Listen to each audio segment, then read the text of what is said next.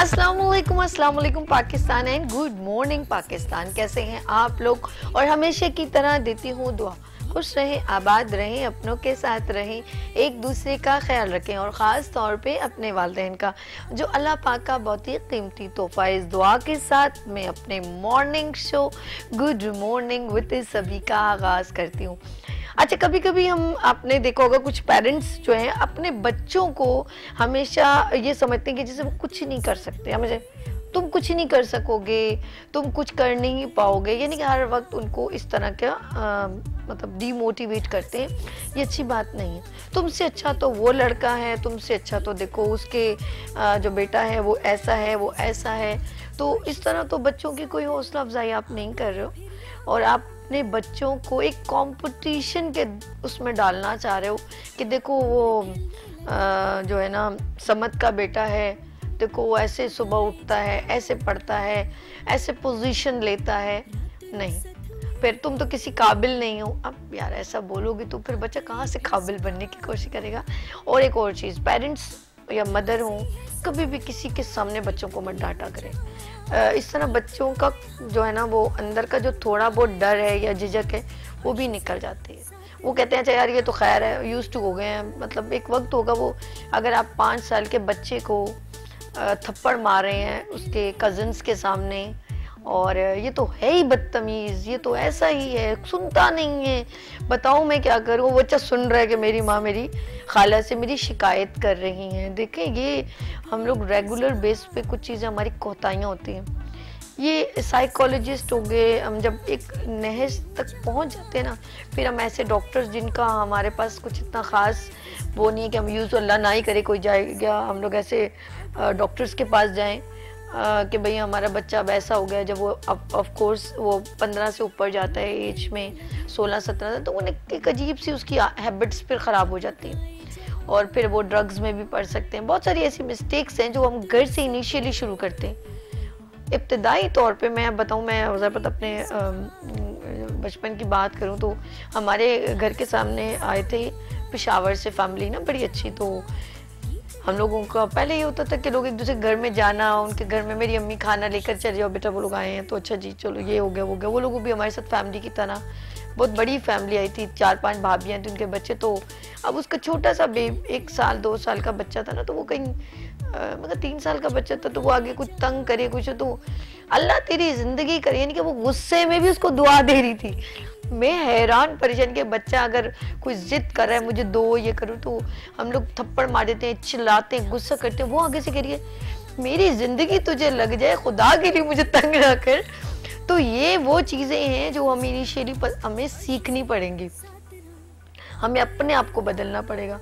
हम पता क्या करते हैं, अपने आप को नहीं बदलते, हम उसको बदलते हैं जो दुनिया में अभी आया जिसे कुछ नहीं मालूम। और उसको अपने नज़रिए से देखते हैं, अपनी आँखों से देखते हैं, अपनी दुनिया से देखते हैं और वैसा देखना चाहते हैं जैसा हमारी चाहत है।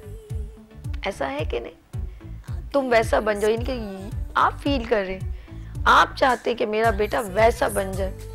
आप अपने बच्चे के दिल में ऐसा क्यों नहीं डालते कि मेरा बच्चा ऐसा हो कि मेरे बच्चे को देख के लोग ऐसा बने और मेरा बेटा ज़रूर ऐसा करेगा, मेरी बेटी ज़रूर ऐसा नाम पैदा करेगी कि इन मेरा बेटा ऐसा नहीं है, मुझे पता है। मेरा बेटा बहुत अच्छा थोड़ा सा जिद्दी, कोई बात नहीं, ठीक हो जाएगा। कभी किसी के सामने तारीफ़ की कभी किसी से कहा है कि, वाह, मेरा बेटा तो इतना अच्छा है।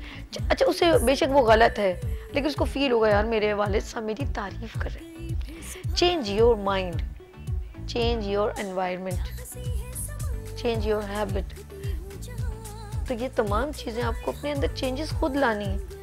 आप अपने अंदर तब्दीली नहीं चाहते, लेकिन आप दूसरों को, अपने बच्चों को तब्दील करना चाहते अब चुप। फलाने धमकाने, गाली दे दी।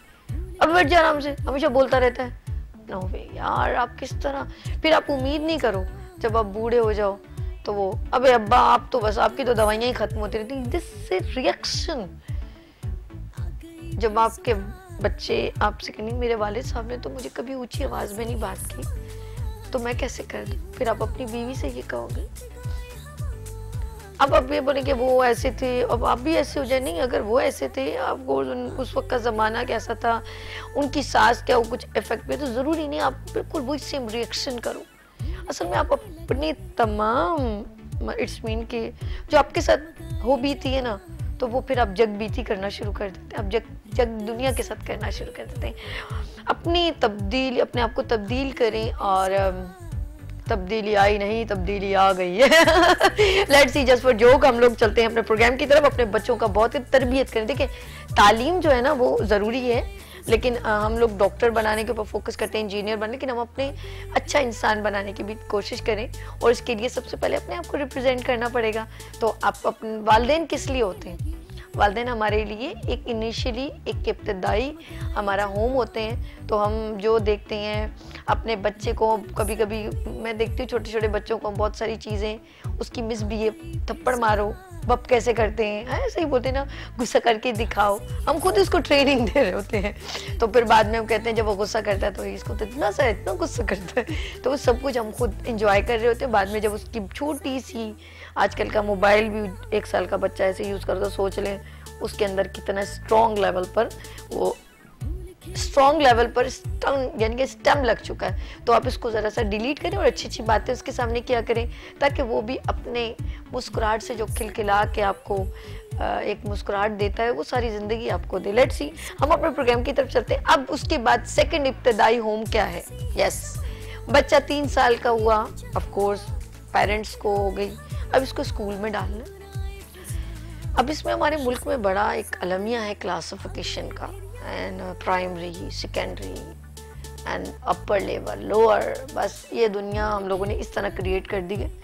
और uh, हम अच्छी तालीम किस चक्कर में हम कहते हैं बहुत अच्छा स्कूल हो तो बहुत अच्छी था। मैंने खुद गवर्नमेंट स्कूल से पढ़ा है और आई डोंट फील शाय और हेजिटेट वाई यार? अल्लाह पाक ने बहुत इज़्ज़त मकाम दी मेरे माँ बाप अल्लाह पाक उनको जवाहर रहमत में अपनी जगह दे। बहुत उन्होंने हमारे लिए बहुत कुछ किया जो हम लोग मैं कहती हूँ, हम लोग कभी भी नहीं कर सकते पॉसिबल ही नहीं है। आज हम माँ बाप हैं तो हमें पता है कि यार ये जो अपनी बहनों को देखती हूँ, भाइयों को देखती हूँ, बहुत मुश्किल है तालीम देना और दिलवाना। तो आप ये मत सोचे बहुत हाई स्कूल है तो बहुत अच्छा आपको वो देगा। आप अपने बच्चे को सिर्फ़ फोकस करें कि बेटा तालीम अच्छी हासिल आप स्कूल में विज़िट करें। और लेकिन अभी मैंने देखा स्कूल्स में रंग बिरंगी एक्टिविटीज़ हो गई हैं, लोग डाइवर्ट हो गए फोकस ऑफ़ बच्चों का एजुकेशन पे हट के क्या ये बहुत सारे सवाल हैं? आप भी हमें कॉल कर सकते हैं। हमारे दरमियान यहाँ पर सीनियर पर्सन बैठे हैं जो वो रेलिवेंट टू एजुकेशन है, वो हमें गाइड करेंगे कि क्या हम अपने स्कूल में या इस वक्त वो जिस इंस्टीट्यूट को रन करें, हम उसको किस लेवल पे देख रहे हैं और हम क्या करवाते हैं? और अब जो मिस्टेक्स हो रही हैं, देखिए, कोई भी हम किसी स्कूल को नाम नहीं ले रहे कुछ स्कूल हैं जैसे कुछ एक्टिविटीज़ पर बच्चों को रोज़ाना पेरेंट्स को अफोर्ड ही नहीं कर सकते। तो हम पूछेंगे कि यार ये कभी कभी होना चाहिए या रेगुलर होना चाहिए? वाई जी आज फ्रूट डे आज फलाना डे ये डे वो डे वो डे और डे डे बे डे हो गया। लेट्स सी हमारे दरमियान यहाँ पर सीनियर पर्सन मौजूद है। एजुकेशन के साथ उनका बहुत टाइम से एक कनेक्शन रहा। इमरान जो है इमरान खालिक यहाँ पर मौजूद हैं। फाउंडर हैं आई के से। अस्सलाम कैसे इमरान भाई? अल्लाह का शुक्र सबसे पहले तो शुक्रिया कि आपने मुझे बुलाया। और अभी हम आपके दूसरे गेस्ट से मिलवाएँ फिर बात स्टार्ट करते हैं। जी इमरान भाई वेट करें कि सवाल कब आया। हाँ हाँ क्या बात है जी। अच्छा जी मेरे सेकंड गेस्ट हैं ऑफ़ कोर्स एक स्कूल रन कर रहे हैं और आसमिया स्कूल से अब्दुल रहमान साहब। अस्सलाम वालेकुम। कैसे भाई ठीक है? अल्हम्दुलिल्लाह। इंट्रो सुन रहे थे मेरा। जी जी जी जी। बहुत शुक्रिया आपने हमें मदद किया इस प्रोग्राम में। ओके अच्छा जी सबसे पहले इमरान खालिक साहब से पूछूँगी। इमरान साहब ऑफ़ कोर्स मैंने जिस तरह कहा कि एजुकेशन पर क्या फोकस इस वक्त चल रहा है, क्योंकि वैसे ही हमने करोना और पता नहीं क्या क्या कुछ देखा, उसको तो हम एक साइड पर कर लेते हैं। मैं करंट एजुकेशन की बात करूँगी कि आया कि हम स्कूल में सिर्फ़ तालीम दे रहे हैं या हम स्कूल में तरबियत भी दे रहे हैं? देखिए सबसे पहले तो ये कि आपने भी कोरोना की बात की कोरोना में जो बच्चा इतने अरसे घर पे बैठा yes. इतने अरसे घर पे बैठा फिर ऑनलाइन का चक्कर शुरू हुआ तो उसका जो लॉस हुआ है ना तो वो हम ये समझें कि वो फॉरन कवर हो जाएगा तो ये पॉसिबल नहीं है इसके लिए कम से कम आप समझें कि एक साल लगेगा कि इस चीज़ को बेटर करने के लिए हम्म, हम्म। कि बच्चा उस रूटीन में वापस आएगा कि रेगुलर जो वो सुबह आठ बजे स्कूल जाता था और उसकी छुट्टी होती थी एक से डेढ़ बजे के दरमियान तो उसको इस चीज़ में दोबारा सेट होने में कम से कम एक साल लगेगा क्योंकि फ़ौरन से नहीं हो सकता फिर दूसरा ये कि स्कूलों के अंदर आपने अभी खुद बोला कि घर के अंदर से ही चीज़ें शुरू हो जाती हैं कि बच्चा जब छोटा होता है तो उसका मुकाबला घर से ही शुरू कर दिया जाता है कि बच्चे को इतना प्रेशराइज कर दिया जाता है कि वो बेचारा टेंशन में आ जाता है क्योंकि अगर आप देखेंगे पहले ब्लड प्रेशर की जो बीमारी होती थी ये हमेशा ये जहन में होता था कि भाई नानी दादा जो इस उम्र के लोग होते हैं उनको होती है। अब आजकल हैरान कन बात यह है कि जो सेकेंडरी के बच्चे हैं छोटे छोटे बच्चे हैं बारह साल तेरह साल वो भी बीपी का शिकार हो गए। वजह क्या है? नींद का ना पूरा करना और फिर बेजा उनसे उम्मीदें रखना। अब आप आपने अभी थोड़ी देर पहले यही बात बोली कि जब माँ ही बोलेगी कि भाई खाला की बच्ची है मामू की बच्ची है उनको देखो कैसा है। तो बच्चा हर वक्त उनसे ही कंपेयर करता रहेगा। वो जब पढ़ने बैठेगा तो उसके जहन में यही आएगा कि अगर मेरी परसेंटेज गिरी तो मेरे घर पे मुझे वालदी की तरफ़ से मार पड़ेगी, वालदा की तरफ़ से डांट पड़ेगी तो वो बेचारा पढ़ नहीं पाता। अब फिर जब वो स्कूल के अंदर जाता है तब स्कूल के अंदर भी ये होता है कि अब वो जब पढ़ जाता है वहाँ पर तो अब वहाँ पर जो उससे जो दीगर आगे बच्चे हैं वो उसमें भी उसका नंबर अगर पीछे आता है अगर एक क्लास में पचास बच्चे हैं वो अगर दसवें नंबर पे भी आएगा तो उसके माँ बाप ये नहीं सोचेंगे कि चालीस बच्चों को पीछे छोड़ा है। हम्म। उसके माँ बाप बोलेगे तुम्हें नौ बच्चों ने पीछे छोड़ा है। बिल्कुल तो सबसे पहले हमें इस चीज़ को दुरुस्त करना पड़ेगा कि देखिए आपका बच्चा है आप नंबर गेम पे बच्चे को लेके मत जाए आप बच्चे की नॉलेज के ऊपर जाए। और दूसरी बात ये कि बच्चा अगर आज दसवें नंबर पर आया है तो अगर आप उसकी हौसला अफजाई करेंगे तो वो टॉप थ्री में भी चला जाएगा। और पहले में भी चले जाएगा। लेकिन अगर वहाँ आप उसको ये टोक देगी कि भाई तुम्हारी खाला की बच्ची फ़र्स्ट आती है तुम्हारे चचा की बच्ची फ़र्स्ट आती है और तुम दसवें नंबर पर आए हो तो फिर अगली दफ़ा आप उसको दसवें पे नहीं आप अगली दफ़ा उसको पचासवें नंबर पर एक्सपेक्ट करें बिल्कुल ठीक कह रहे हैं। अच्छा जी, मैं अब्दुलरहमान साहब की तरफ़ चलती हूँ। अब्दुलरहमान साहब ऑफ़ कोर्स आप एक स्कूल को लीड कर रहे हैं तो पहले ये होता था सिर्फ़ फोकस ऑन एजुकेशन जो हमारी लाइफ थी, और बस फोर्टीन अगस्त छः सितंबर और मिलाद और ये चंद त्यौहार होते थे जो हम लोग एक्टिविटी में या स्पोर्ट्स में एक साल में होता था। लेकिन अब बहुत सारे लोग बच्चों को डाइवर्ट किया गया पेरेंट्स को प्रेशराइज किया जाता है कि आज ही कलर डे है, आज ये दिन है, वो दिन है। ये क्या है एक्टिविटी का, क्या फोकस क्या है? बसमीम सर मैं स्कूलों के अंदर बहुत ज़्यादा मैं खुद देख रहा हूँ कि मेरी बच्ची भी पढ़ती है। तो इसके अंदर ये कि कलर डे इसी तरीके से और भी डे जो बहुत सारे जो डेज़ बनाते हैं स्कूल में। तो मैं ये समझता हूँ वैसे इतनी छुट्टियाँ हो जाती हैं। तो उसके मैं ये समझता हूँ ये तमाम जो डे ये कम से कम होना चाहिए ताकि एजुकेशन में नुकसान ना हो। बेशक। जी, और ये कि आपको तो पता ही आजकल के बच्चे जो है, वो वैसे ही छोटे छोटे बच्चे जो टैब में ज़्यादा मसरूफ़ होते हैं, मोबाइल, गेम वगैरह में। तो उसकी वजह ये कि हम खुद पेरेंट्स जो है, बच्चों को तवज्जो से पढ़ाते हैं, उनको देखते हैं, उनके मामला को। तो मैं जो स्कूल रन कर रहा हूँ, बच्चों को जो मैं देख रहा हूँ, और जो पेरेंट्स मुझे कहते हैं, यही कहते हैं कि सर, बच्चे जो होमवर्क जो आप देते हैं स्कूल की तरफ़ से, बच्चे घर पे करते तो हैं, टीचर भी करवाती हैं, मगर बच्चों को ज़्यादातर फोकस टेप वगैरह में, इसी तरह गेम्स वगैरह में। तो वो ये कहते हैं कि, और स्कूल के अंदर भी जो है ना, इतने सारे डेज़ रख दिए जाते हैं, जिसके वजह से जो है एजुकेशन का नुकसान होता है। तो जो एक्टिविटी एक्टिविटीज़ वो होनी चाहिए, जैसे ईद मिलादुलनबी है, और बच्चों नाप खानी का हो जाए क्रेत कंपटीशन हो जाए इसी तरीके से ये, ये तमाम एक्टिविटीज़ स्कूल की तरफ़ से होगी तो बच्चों को सीखने का मौका मिलेगा। बस ये कह रहे हैं कि होनी चाहिए लेकिन इतनी ज़्यादा नहीं कि तालीम के और नुकसान हो। हमारे दरमियान ज़बरदस्त पर्सन मौजूद हैं एजुकेशन से उनके वालिद साहब भी अल्लाह पाक उनको जवाल रहमत में जगह दे। उनका भी ताल्लुक था और आज वो भी माशाल्लाह लीड करें। ऑल प्राइवेट स्कूल एसोसिएशन से तारिक शाह साहब। अस्सलाम वालेकुम तारिक भाई। जी वालेकुम सलाम। क्या हाल है आपके? मैं ठीक हूँ तारिक भाई कैसे हैं आप? ठीक है? माशाल्लाह, वालिद साहब भी, माशाल्लाह ऑल प्राइवेट स्कूल एसोसिएशन से लीड कर रहे थे, अब आप कर रहे हैं। अच्छा मुझे ये पूछना चाह चाह रही थी कि एजुकेशन के ऊपर ऑफ़ कोर्स पहले ये होता था आपने भी एजुकेशन हासिल की होगी तो पहले लोग ज़्यादा ये जो एक्टिविटीज़ जो हैं कलर डे ये डे वो डे वो ज़्यादा नहीं करते थे लेकिन अब तालीम के ऊपर इतना फोकस नहीं है और हम लोग इन चीज़ों पर ज़्यादा फोकस करते हैं क्या हमारे लिए बेहतर है या थोड़े उसमें होना चाहिए या हर स्कूल में ये ज़्यादा स्कूल को मैंशन करना कि मेरा बहुत हाई स्कूल है तो इसलिए मैं इसको इस तरीके से लोग अफोर्डेबल नहीं होते आप क्या कहना चाहेंगे? जी जनाब, बहुत शुक्रिया। देखिए, बहुत, एक बहुत इंपॉर्टेंट सवाल है कि जो आम एक पेरेंट की जो है, वो जबान पर होता है या आम इंसान के, कि एजुकेशन जो है, वो अब इतनी ज़्यादा चेंज क्यों हो गई जो पहले ऐसी नहीं थी? देखिए, वो इसमें समझने की ज़रूरत है कि आजकल का वो बच्चा भी वैसा नहीं है जैसे शायद हम थे या हमारे बड़े थे। क्योंकि ये बच्चा बिल्कुल मुख्तलिफ़ है।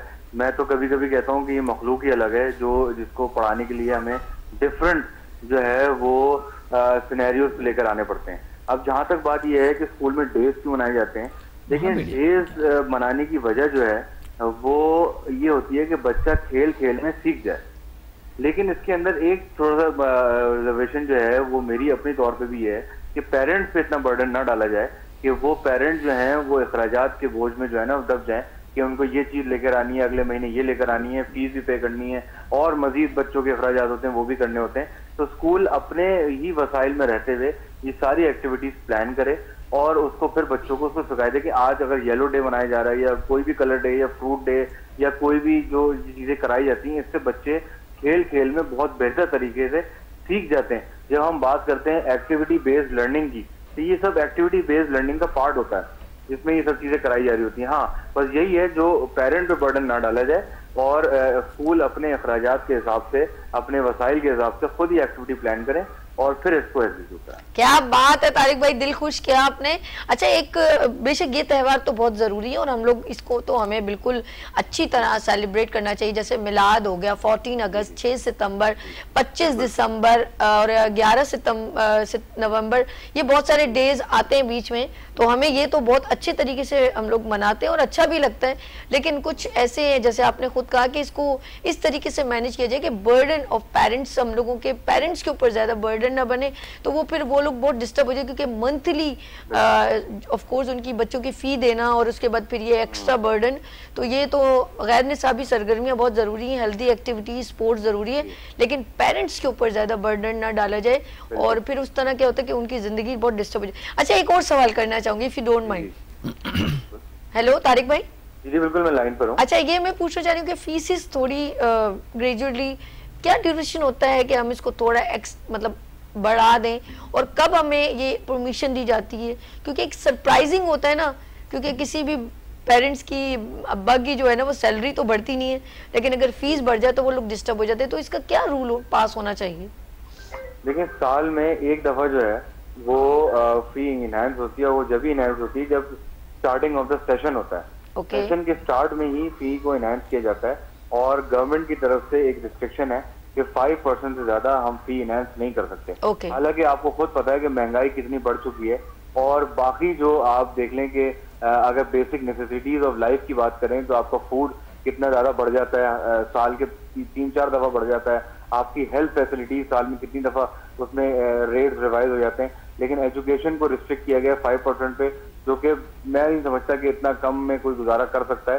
लेकिन मजबूर है क्योंकि स्कूल भी चलाने और गवर्नमेंट को भी जो है वो सेटिस्फाई करना है, उनके रूल्स को जो है वो फॉलो करना है। तो फाइव परसेंट साल में इंक्रीज होता है। हाँ ये बात अलमिया है जो बाकी काम कर रहे होते हैं ऑफ़िस पेरेंट्स कर रहे होते हैं तो वहाँ पर भी गवर्नमेंट को कोई रेगुलेशन लेकर आनी चाहिए कि उनके अखराज भी जब बढ़ते हैं तो उनकी सैलरीज भी बढ़नी चाहिए। इस पे फोकस गवर्नमेंट का होना चाहिए क्योंकि देखें अखराज तो बढ़ेंगे इन्फ्लेशन जिस तरह से बढ़ती चली जाएगी तो हमारी महँगाई भी बढ़ेगी और जब महँगाई बढ़ेगी तो उसका इम्पैक्ट ये नहीं है कि हर चीज़ पर आ जाए एजुकेशन पे ना आए। क्योंकि स्कूल जो रेंटल प्रेमिसेस होते हैं, उनके रेंट भी बड़े होते हैं। टीचर जो पढ़ा रहे होते हैं, उनकी सैलरीज भी बढ़ रही होती हैं हर साल।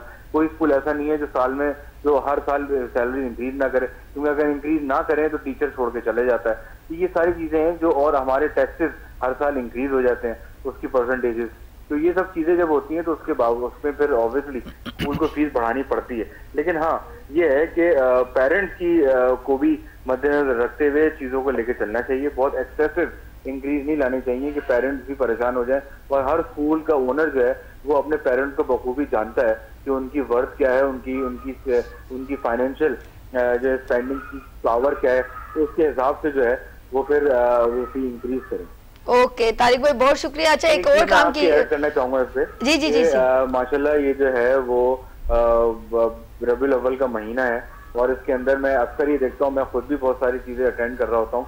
तो नाच कंपटीशन तो पे तो बहुत फोकस किया जा रहा होता है लेकिन मेरी आपके चैनल के तवस्त से सबसे रिक्वेस्ट ये है कि सीरत नबी पर भी कॉन्फ्रेंस कराई जाए बच्चों को दर्ज भी दिया जाए और बच्चों से भी इस पे स्पीच कंपटीशन कराए जाए क्योंकि जब ये स्पीच कंपटीशन कराए जाएँगे सीरत नबी पे तो बच्चे ज़्यादा बेहतर तरीके से सीख भी लेंगे क्योंकि जब वो स्पीच तैयार करेंगे और जो बच्चे स्पीच कंपटीशन सुन रहे होंगे उन तक वो नॉलेज पहुँच जाएगी। तो बेसिक चीज़ ये है कि हमारे हजूर पाक वसल्लम का जो पैगाम है वो हमें आगे से आगे बच्चों तक पहुंचाना है। तो इस महीने को हम इस तरह से भी अगर लेकर चलें तो हम बेहतर तरीके से अपनी इस्लामी तालीमत बच्चों में आगे इंकलकेट कर सकें। सुबह अल्लाह बस आप रेडी रहिए। आपने जो कह दिया वो हो गया।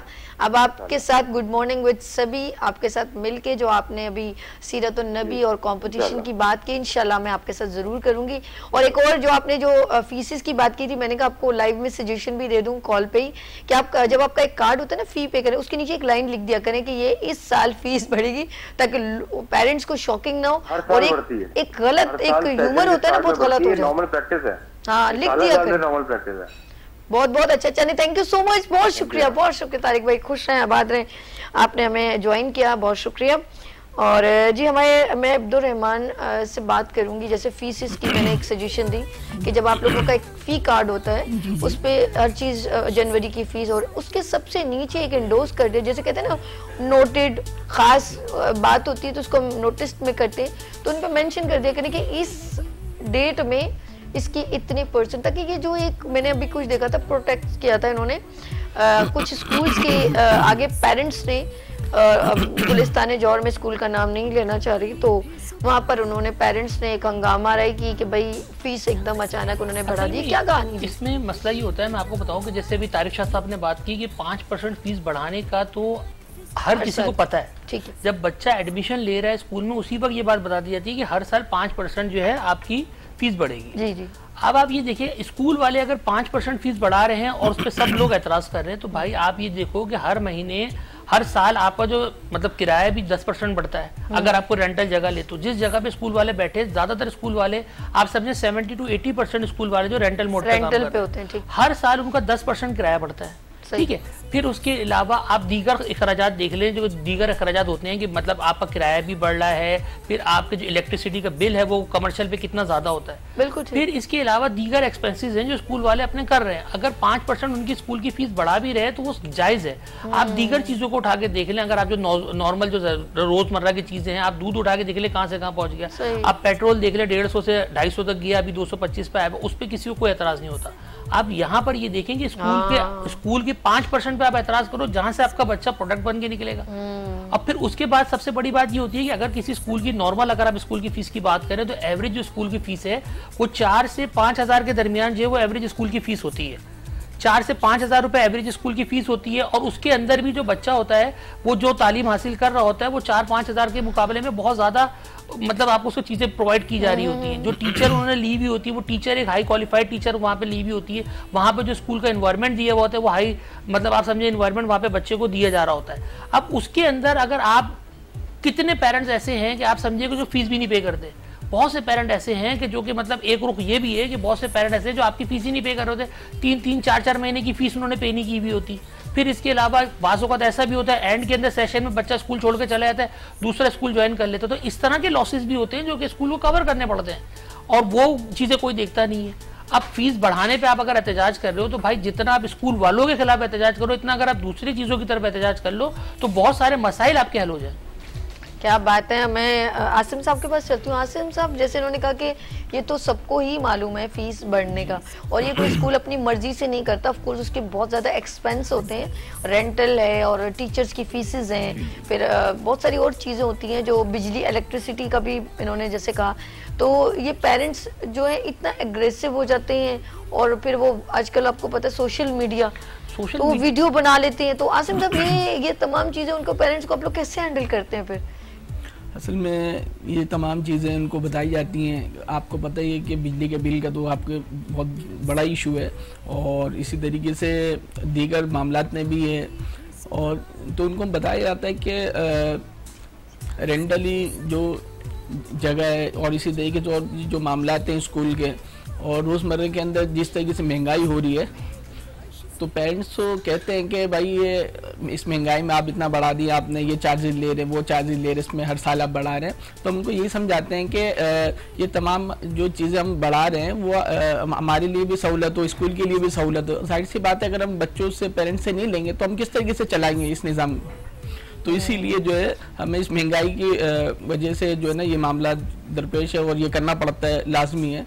और ये कि जो पेरेंट्स बेचारे जो इस महँगाई के उसमें मामला में हैं और जो फ़ीस अफोर्ड नहीं कर सकते हैं तो हमारे यहाँ तो अलहमदिल्ला बच्चों को फ़ीस अबिल्ला हम तालीम देते हैं एजुकेशन देते हैं अलहमदिल्ला डेढ़ सौ बच्चे अलहमदिल्ला लाजमिया स्कूल के अंदर अलहमदिल्ला तो जी जी जी तो बड़ी खुशी की बताया नहीं मैं मैंने किया मुझे तो असल में देखें एक चीज़ ये होती है अच्छी बात है। स्कूल की कैटेगरीज बनी हुई है यहाँ पे। आपको पता है कि मतलब एक बहुत ही हाई फाई स्कूल है जिनकी फ़ीस जो है आप समझ लें मंथली पैंतीस से चालीस हज़ार रुपए। ठीक है फिर एक दूसरे सेकंड में आ जाए तो वो पच्चीस से तीस के दरमियान आ जाते हैं ज़्यादातर जो एवरेज फ़ीस होती है ना हमारे जो स्कूल वाले पढ़ा रहे होते हैं जो कि मतलब आप समझे पाँच से सात तक सबसे ज़्यादा फंसता वही है। हाँ। मतलब देखें जो बड़े स्कूल है ना उसको कोई क्रिटिसाइज नहीं करता।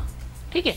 जो ये पाँच से सफ़ेद पोज हाँ, बी क्लास के उनके लिए पाँच से सात हज़ार के दरमियान जो स्कूल होते हैं इनके जो मसाइल हैं इसके हवाले से एक प्रोग्राम रखना चाहिए कि इस पे बात करनी चाहिए कि देखिए हर मैं ये नहीं कहता कि सारे स्कूल वाले कोई फरिश्ता है। हम्म, नहीं नहीं सही सही। मतलब इसमें कुछ स्कूल वाले ऐसे भी हैं जो कि बेजा मतलब चीज़ों का करते हैं लेकिन मैं कितने मुझे दुख हुआ कि कितने तो कोरोना में कुछ लोगों ने स्कूल बंद कर दिए वो नहीं अफोर्ड करे क्योंकि जैसे इमरान भाई ने कहा कि बिल्डिंग का कराया है और फिर बिजली है और ये सब अब जिसने रेंट पे दिया वो तो पेमेंट मांगेगा। एक लाख हो या डेढ़ लाख हो उसको तो रिकॉर्ड अब कितने महीने तक कोरोना की वजह से डिस्टरबेंस रही? अब ये तो एक है। लेकिन मैं मुझे इनसे ज़रा मैं कहूँगी अब्दुलरहमान साहब ये बताइए कि कब से आपने माशाल्लाह ये बच्चों को जो है पढ़ा रहे हैं और कब से ये आपने फ्री भी लोगों को तालीम किस प्रोसीजर में दे रहे हैं फ्री तालीम? अल्हम्दुलिल्लाह सन 2010 से ये सिलसिला शुरू है अल्हम्दुलिल्लाह। और ये कि यही है कि लोगों के इसमें डोनेट शामिल है जो कहाँ है आपका स्कूल? किस साइड पर ये हमारे ये शादमान टाउन की तरफ़ है। माशाल्लाह जी जी जी बच्चों को फिसल्ला तालीम भी देते हैं और स्कूल के साथ साथ जो अरबी की भी तालीम दी जाती है वहाँ पर नाजरा। क्योंकि हम ये समझते हैं कि हम अलहमदिल्ला मुसलमान है तो हमारा जो सबसे पहला जो ईमान है वो कुरान मजीद है तो हम तजवीद के क्लास भी देते हैं बच्चों को और स्कूल की तालीम भी देते हैं। अलहमदुल्ला और कितने बच्चे माशा डेढ़ सौ के करीब बच्चे हैं। अल्हम्दुलिल्लाह जी बड़ी बात है बड़ी बात है। अल्लाह पाक और इसमें हाँ। और लोग मुस्तफीद हो बच्चे मुस्तफीद हो और लोग स्पेशली मैं ये कहूँगी कि इनकी हेल्प भी किस नाम से फेसबुक वगैरह तो हम क्या आपका सर्च करें तो कैसे होगा? जी अलासमिया स्कूल से वो जो है फेसबुक जी जी जी जी और जो और जो सर को ही पता सर सर दूर दराज से भी लोग देखे हो सकता है ऑफ़ कोर्स एक कुरानी तालीम भी मिल रही है जी, और दीनी और दुनियावी दोनों ही आप एजुकेशन प्रोवाइड करें। तो मैं तो चाहूँगी कि भाई आसमिया अलासमिया के फेसबुक पेज पे जाएँ और बस हम लोग थोड़ा सा मुझे अच्छा लगता है कुछ नेकी का काम हमसे भी हाथों से हो जाए। गुड मॉर्निंग विद सभी के प्लेटफॉर्म से तो अल्लाह पाक हम सब पर रहम करे। और अगर कोई भी बच्चा एजुकेशन हासिल कर ले और क्या चाहिए भी? असल में ज़्यादा तो जो हमारे यहाँ जो बच्चे आते हैं गरीब होते हैं आपको पता है ये महँगाई के दौर में और जो बेचारे जिनके घरों में फाका होते हैं कहने का मकसद ये तो गरीब जो होते हैं उनको भी हम फ़ीस अबिल्ला तालीम देते हैं। जी जी जी। ज़बरदस्त। और जो लोग ऑफ़ कोर्स ऐसे ये उन लोगों की वजह से होता है जो लोग मुखैर हजरात हैं जो। आ, उन लोगों की वजह से होता है जो लोग डोनेट करते हैं और छुप के देते हैं। वो उनकी अल्लाह पाक उनकी बिल्कुल राहें हमवार करता है क्योंकि कहते हैं साथ को दो तो साथ को पता ना चले। विदाउट एनी दिखावा। लेट्स सी हम लोग बात करें एजुकेशन पे और लेकिन मैं एक चीज़ देखती हूँ कि जो लोग ये ये हमारे अंदर खुद से तस्वर है, जबकि टैलेंट को, वो कहते हैं जो पानी जब अपना रास्ता खुद बनाता है। क्या कहते हैं? और टैलेंट ऐसा इंसान का हो, वो अपना रास्ता खुद बनाता है, उसके लिए क्लासिफिकेशन स्कूल नहीं होता मेरे ख्याल में। देखिए जितने भी लोगों ने मतलब पाकिस्तान का नाम दुनिया में रोशन किए ज़्यादातर जो पुराने लोग हैं चाहे वो क्रिकेटर हैं चाहे वो कोई बड़े बिजनेसमैन हैं या कोई समाजी शख्सियात हैं वो सब जो है गवर्नमेंट के स्कूल से पढ़े। Okay. ठीक है सारे गवर्नमेंट के स्कूल से पढ़े कोई हाई फाई स्कूल नहीं था कि ना वहाँ पे एयर कंडीशन लगा हुआ था ना वहाँ पे फैसिलिटीज़ थी। उन्होंने मुल्क का नाम रोशन किया। क्या अब तो स्कूल ऐसे बन गए हैं कि माशाल्लाह से जैसे आपको होटल में कहीं आप जा रहे हैं किसी बड़े स्कूल में अगर आप जा रहे हैं तो लग रहा है किसी बच्चे को आपने होटल में छोड़ा वापस लिया है। तो इस तरह के बच्चे जब वहाँ पर जाएँ, अगर उसके अंदर टैलेंट है तो वो अपने टैलेंट को कितना यूटिलाइज कर सकता है। भाई, जो अब आजकल स्कूलों के अंदर आप समझें कि बाकायदा क्रिकेट की टीमें बनी हुई हैं, स्पोर्ट्स की टीमें बनी हुई बाकायदा उनके कोचेस रखे हुए हैं, उनके ग्राउंड्स हैं। तो वहाँ से फिर टैलेंट क्यों नहीं निकला? Talent hmm. से वही जिसके पास टैलेंट है वही फिर आगे निकलेगा। उसके लिए ज़रूरी नहीं है कि अभी आपने बहुत प्यारी बात की कि समंदर पानी जो होता है वो अपना रास्ता ढूंढ लेता है। तो ऐसे ही जिसके अंदर टैलेंट है वो कभी ना कभी निकलेगा। बाज औकात आप देख लें कि एक इंडिया के पुराने क्रिकेटर थे। वो मतलब आप समझे कि वो जुगियों में रहते थे जुगी में रहते थे। तो वहाँ से एक मशहूर क्रिकेटर का गुजर हुआ तो उन्होंने उनको शॉट मारते हुए देखा तो उनको बड़ा अच्छा लगा। उन्होंने अपना बैट उनको दे दिया। ठीक है उनको अपना बैट दे दिया। कि बेटा आप इससे खेला करो वो जैसे वो कपड़े सुखाने के लिए करते थे उससे खेला करते अल्लाह। ठीक है उन्होंने देखा कि उससे वो इतने लंबे शॉट मार रहा है अगर उसको बल्ला प्रॉपर दो तो क्या मारेगा? तो उसको जैसे मारा तो उन्होंने उसको अंडर 14 की तरफ़ डाला। वही से अंडर 14 से 19 खेल के उन्होंने इंडिया का बहुत नाम रोशन किया। बड़ी तो अब टैलेंट था उसके अंदर तो वो दिख गया। अब वो बोले झुग्गी में रहते हाँ, अच्छी जगह पे रहता हो सोसाइटी में तो उसको प्रमोट करना चाहिए। प्रमोट करना चाहिए क्योंकि अब तो जैसे हमारे यहाँ जो पाकिस्तान के अंदर जैसे जावेद मेदाद निकले या और जो दीगर क्रिकेटर निकले मोहम्मद यूसुफ निकले या जो भी क्रिकेटर निकले किसी एकेडमी में नहीं खेलते थे। सिंपली ये अपने घर में खेला इन्होंने गली मोहल्लों में खेला आसपास के ग्राउंडों में खेला। लेकिन उनके अंदर एक जोश था जज्बा था और आगे बढ़ने का टैलेंट था टैलेंट था। अब शाहिद आफरीदी ने तेरह डी की गलियों में क्रिकेट खेलना स्टार्ट करी फिर छोटे ग्राउंड में खेले पूरी दुनिया में पाकिस्तान देख ले अच्छा सरफराज भी उसी साइड सरफराज भी बफर जोन में हाँ। बहुत ज़्यादा मेरे पड़ोसी ही हैं। हमारे ही ग्राउंड में गौशाला था हम खुल रहे हैं लाइव शो में हम खुल रहे हैं। गौशाला में स्पोर्ट्स ग्राउंड पे खेलते थे। पाकिस्तान का एक एक चप्पा चप्पा हमें दिल से अज़ीज़ है। और उमर शरीफ लालू खेत से बड़े फखर से अमजद अमजद साबरी भी वहीं साबरी साहब जो हैं अल्लाह उनको जबर रहमत मोइन अख्तर साहब हैं। अच्छा ये बड़े प्राउडली कहते हैं कि हम जो है इधर से हम हैं। बात आपकी मैं आगे बढ़ाऊं कि देखें इन लोगों ने ये ग्रास रूट लेवल से निकले। अब तो इतनी जिद्दत है कि बच्चा जब स्कूल जा रहा है तो स्कूल में उसके बाकायदा कोच मौजूद है वो उसको बता रहा है। शायद आफरी तो किसी ने नहीं बताया कि बेटा बैट ऐसे पकड़ते बॉल ऐसे पकड़ते जब तक वो आगे नहीं निकले अंडर नाइनटीन के अंदर नहीं गए। तो अब जब नीचे से आपको इतना सपोर्ट किया जा रहा है तो फिर तो फिर टैलेंट आपको और ज़्यादा निकलना चाहिए। हम्म, हमारे दरमियान अहमद चनाय साहब मौजूद हैं और माशाल्लाह इनके साथ मेरा प्राइड ऑफ़ पाकिस्तान इंटरव्यू रहा। अस्सलाम वालेकुम सर जी वालेकुम कैसे हैं सर ठीक है?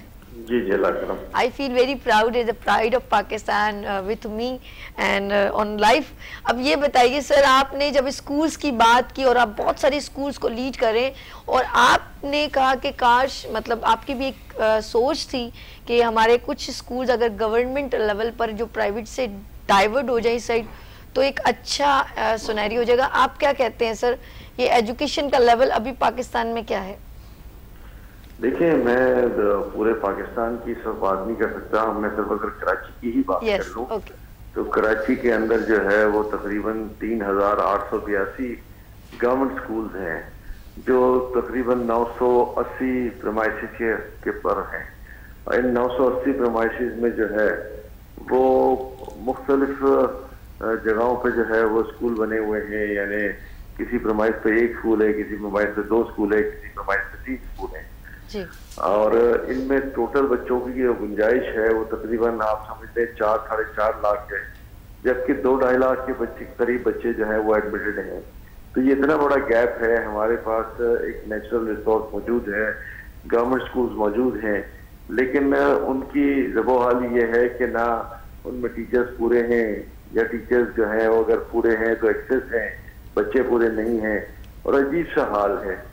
इन तमाम चीज़ों को अगर हम काबू पा लें और एजुकेशन का बजट जो है वो सही मानों में इस्तेमाल हो जाए कराची के अंदर कराची के अपने स्कूल पे तो ये जो प्राइवेट स्कूलों की मनमानियाँ हैं जहाँ तीस से चालीस हज़ार रुपए पर मंथ मिनिमम फ़ीस है हम्म। वो खत्म हो जाए और हमारे कराची के तमाम बच्चे जो है वो तरीके से तालीम पा सके तो ये वक्त की अहम ज़रूरत है तो सोचना चाहिए इस प्राइवेट स्कूल की जो मनमानियाँ हैं उसको खत्म करने के लिए बायस ज़रिया है कि हम अपने स्कूल्स को बेहतर करें इम्प्रूव करें और प्राइवेट स्कूल्स की जो बहुत ज़्यादा मैं समझता हूँ प्रॉफिटेरिंग है, उसको ख़त्म करने के लिए सिर्फ़ यही रास्ता है कि जिसको हम इस्तेमाल कर सकते हैं बहुत शुक्रिया sir thank you so much बहुत शुक्रिया आपने हमें ज्वाइन किया।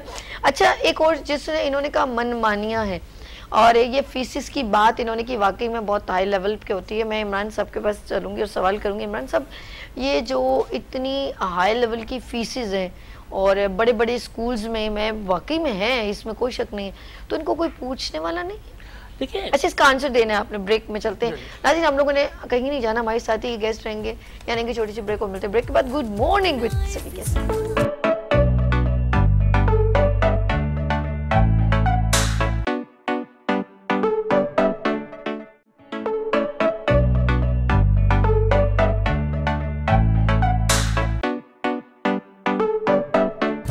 एक बार फिर खुश आमदीद कहती हूँ और आज टॉपिक है एजुकेशन पे।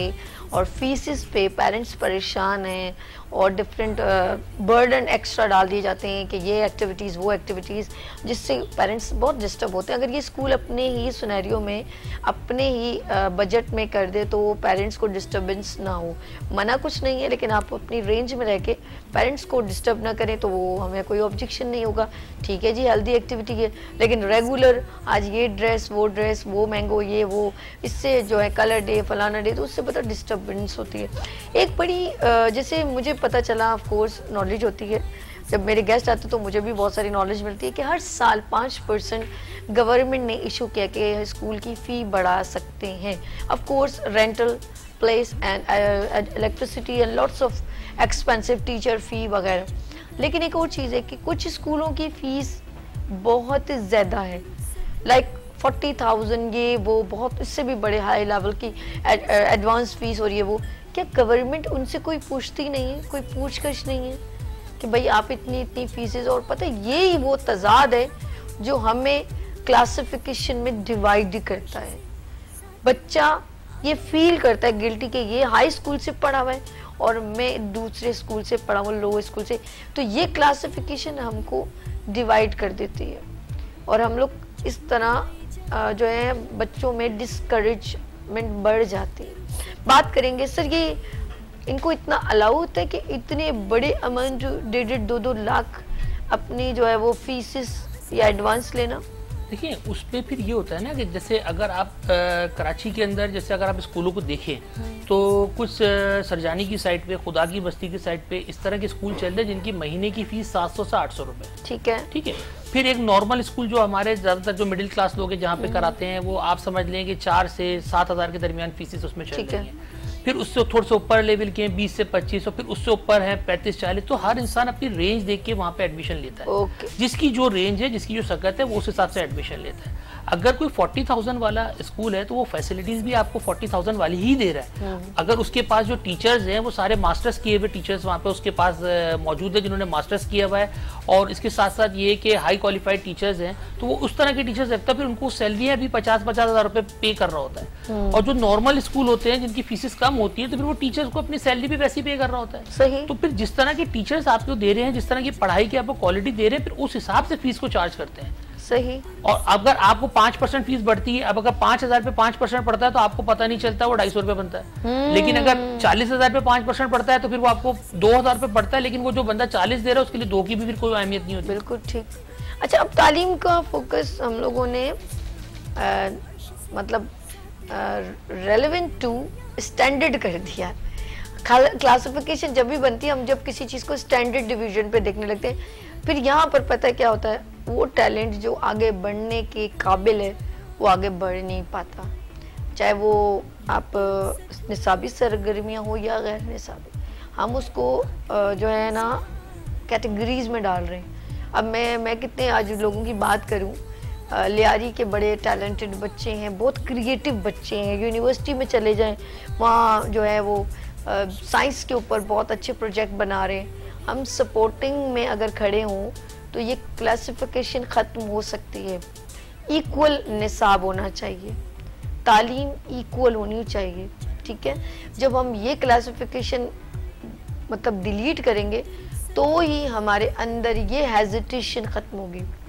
वही बच्चा जो कराची यूनिवर्सिटी या बड़ी यूनिवर्सिटी जहाँ पर भी वो जाता है, जब वो उसको ये मेंशन हो, सामने वाला पर्सन अपनी प्रीवियस स्कूल का एक रोब डाल रहा हो, मैं नहीं समझती कि ये गुड है। क्योंकि हम उसके बच्चे को तालीम के साथ थोड़ी तरबियत भी दें कि बेटा चले, आपको अल्लाह पाक ने नवाजा है, लेकिन आप दूसरे को कभी हकीर ना समझें। हमें थोड़ी ग्रूमिंग भी बहुत ज़रूरी है। मैं बड़ी हैरान होती हूँ, बच्चा जब मेट्रिकुलेशन करके कॉलेज में जाता है तो उसका अगर वो डिफरेंट स्कूल से बिलोंग किया हुआ है तो उसने अपनी एक अलग से जो है ना प्रेजेंट करना है। तो ये प्रेजेंटेशन जो होती है ना, वो टैलेंट को ख़त्म कर देती है क्योंकि उसका दिमाग सारा पैसा और इन चीज़ों पे रह जाता है, एक रैपो पे रह जाता है। टैलेंट फिर यहाँ पर ख़त्म हो जाता है। और टैलेंटेड बंदे को बकौल इनके कि टैलेंटेड बंदा हमारे जावेद मियाँ दाद और बहुत सारे ऐसे लेजेंड पर्सन हैं स्पोर्ट्स में हो या टैलेंट डिफरेंट जगहों पे हो, उन्होंने इन चीज़ों को सामने नहीं रखा और अपना नाम और वकार बनाया है। जाते जाते इन लोगों से मैसेज लेते हैं और फिर हम लोग अपने प्रोग्राम की जानब चलेंगे। जी, मैं आसिम साहब सॉरी अब्दुल रहमान आसमिया स्कूल से ना, सर, क्या मैसेज देना चाहेंगे अपने नाजरन को? मैं अपने नाजरीन से ये कहना चाहूँगा कि जितने भी बच्चे हमारे स्कूल के पढ़ रहे हैं तो उनके बच्चों का बहुत ज़्यादा ख्याल रखें, इनकी एक्टिविटीज़ के ख़ास तौर पर इनके जो सोशल एक्टिविटीज़ है, क्योंकि हमारी ज़िंदगी में, हमारे बच्चों की ज़िंदगी में सबसे ज़्यादा एजुकेशन के साथ साथ हेल्थ एक्टिविटीज़ बहुत ज़रूरी है। एक और बात मैं करना चाहूँगी। एक सवाल बहुत ज़्यादा मेरे जहन में क्लिक करा है वो मैं बाद में पूछूँगी। पहले मैं इनसे मैसेज ले लूँ फिर मैं इन दोनों से पूछूँगी ये जो इन्होंने सोशल एक्टिविटीज़ की बात की है तो मैं इसके रेलिवेंट सर आप भी मैसेज दे दें ताकि मैसेज मेरा मैसेज बस यही है कि बच्चों को आप सिर्फ़ और सिर्फ़ ये कहें कि आपको नॉलेज गेन करना है नंबर्स हम्म। आपके खुद ब खुद आ जाएँगे। और उनका कंपैरिजन किसी से नहीं करें। जिससे आप उसका कंपैरिजन करेंगे वो उसके खिलाफ होता चला जाएगा और उसके अंदर एग्रेशन आती चली जाएगी। बिल्कुल ठीक कह रहे हैं बिल्कुल सही कह रहे हैं एग्रेसिव हो जाएँगे। सोशल एक्टिविटीज़ बच्चों की जब बच्चे मैट्रिक में जाते हैं ऑफकोर्स ज़रा सा इंडिपेंडेंट फील करते हैं कि हमने या कॉलेज फ़र्स्ट ईयर में जाते हैं तो फिर उनकी गैदरिंग डिफरेंट हो जाती है। वो बच्चों से हट के ज़रा सा अपने आप को बड़ा फील करने लगते हैं। उनकी सोच हर चीज़ चेंज होती है। तो यहाँ भी मैं ये कहूँगी कि समझ लें बच्चों को लुक आफ्टर करना बहुत ज़रूरी है। फिर बच्चे स्मोकिंग झूठ बोलना आउटडोर सिनेमा देख लिया कहीं कुछ भी अपने घर में एक्टिविटी बहुत सारी अब सोशल मीडिया आपको पता है बहुत ज़्यादा बैड उसमें भी जाता है। तो ये वो मैं कहती हूँ ये भी वो दौर है जो तीन साल के बच्चे को ऊपर लुक आफ्टर करने की ज़रूरत है। क्या ऐसा है? देखिए मसला एक सबसे बड़ा ये है कि बच्चों की जो चीज़ें हैं मैं हम्म। समझता हूँ कि ज़्यादातर जो बच्चों के बिगड़ने में जो हाथ है वो उनकी माओ का होता है। अच्छा। इंतहाई माजरत के साथ ज़्यादातर उसकी वजह ये होती है कि बच्चा जब पहली दफ़ा कोई चीज़ गलत करता है जैसे घर में कोई सामान लेकर आया उसमें उसने थोड़ी सी कटिंग कर ली हाँ। या उसने कोई चीज़ तोड़ दी या उसने कोई ऐसी चैनल लगा लिया जो कि उसको देखना नहीं चाहिए था तो माएँ जो होती हैं वो चीज़ बजाय बाप के इलिम में लाने से उसको वो छुपा देती हैं फिर वो बच्चा भी आदि हो जाता है छुपाने की चीज़ों की उसको पता है माँ बैठी वो छुपा लेगी फिर वो छुपाते छुपाते छुपाते ऐसा हो जाता है वाकयात के मतलब बच्चा फिर यूज़ टू हो जाता है फिर बच्चा हाथ से निकल जाता है। हम्म। अभी मैंने तकरीबन तीन दिन पहले एक न्यूज़ देखी है मैं तो मकसद समझे मेरे तो रोंगटे खड़े हो गए कि इस वक्त सबसे ज़्यादा मंशियात दुनिया में न्यूयॉर्क के बाद कराची में इस्तेमाल हो रही है। अल्लाह। तो अब आप सोचें कि कराची के अंदर जब ये ये चीज़ इतनी आम होती जा रही है तो आप सोचें कि आने वाला वक्त क्या होगा? यानी हम सेकंड नंबर पे इस पे आए। हमें खुशी होती किसी अच्छी चीज़ में, तालीम के मैदान में हम दूसरे नंबर पर दुनिया में होते तो हम फ़ख्र से बोलते कि भाई हम तालीम के मैदान में दूसरे नंबर पर हैं। हम ये कि किसी भी, आप समझें कि हमारा स्टॉक एक्सचेंज दुनिया में नंबर वन होता है या सेकंड होता है तो हम उस पर खुश होते हैं कि भाई ये है। अब इसकी वजूहत ही यही है कि बच्चे ने जब पहली दफ़ा सिगरेट पी तो माँ ने अगर देख भी लिया, माँ के इलम में भी आ गए देखिए माँ से कोई चीज़ घर में छुप नहीं सकती। अगर बच्चा सिगरेट पी के बाहर से आ रहा है, उसके मुँह से स्मेल आएगी।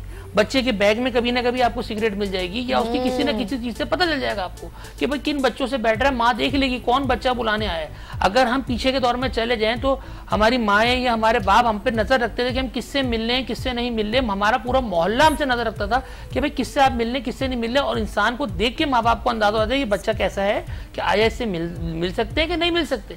अब जब माँ माए जब बाप के इलिम में ये बात नहीं लेकर आएँगी तो फिर इस तरीके की फिर वाकयात होते रहेंगे। बिल्कुल सही कहा कि पेरेंट क्योंकि बहुत सारे मैंने बच्चों को गैदरिंग आपस में दोस्तों की बनाते हैं तो फिर वो शीशा और ये वो सबसे बड़ा ही एक शीशे के तौर पर आया है ना कि देखें कि अब आप समझेंगे अगर कोई सिगरेट पी रहा है तो उसको पहले जमाने में बुरा समझा था। जो हम्म। पुराने जमाने के लोग पॉसिबल ही नहीं था। आज भी जैसे हमारे खानदान में या आपके खानदान में जो पढ़े लिखे खानदान है जहाँ पे मतलब समझे जो लोग मौजूद हैं वो आज भी सिगरेट अपने घर के वालों के सामने नहीं पीते। नहीं पीते नहीं वो बाहर जाके ऐसे पीते हैं कि जैसे कोई गुना कर रहे हो। ठीक है अरे वो अपनी वाइफ के बराबर में अपने बड़ों के सामने नहीं, नहीं बैठते, बैठते ये रिस्पेक्ट तो अब आप देखिए था कि शीशे की आपने बात की। कितने मराकज यहाँ पे खुले हुए हैं कि पेरेंट्स साथ हैं भाई साथ हैं खातन भी शीशा पी रही हैं पेरेंट्स भी पी रहे हैं। तो भाई अगर आप इस तरह से कल्चर शुरू करोगे अब तो सबसे बड़ा वो एक छोटा सा आ गया है।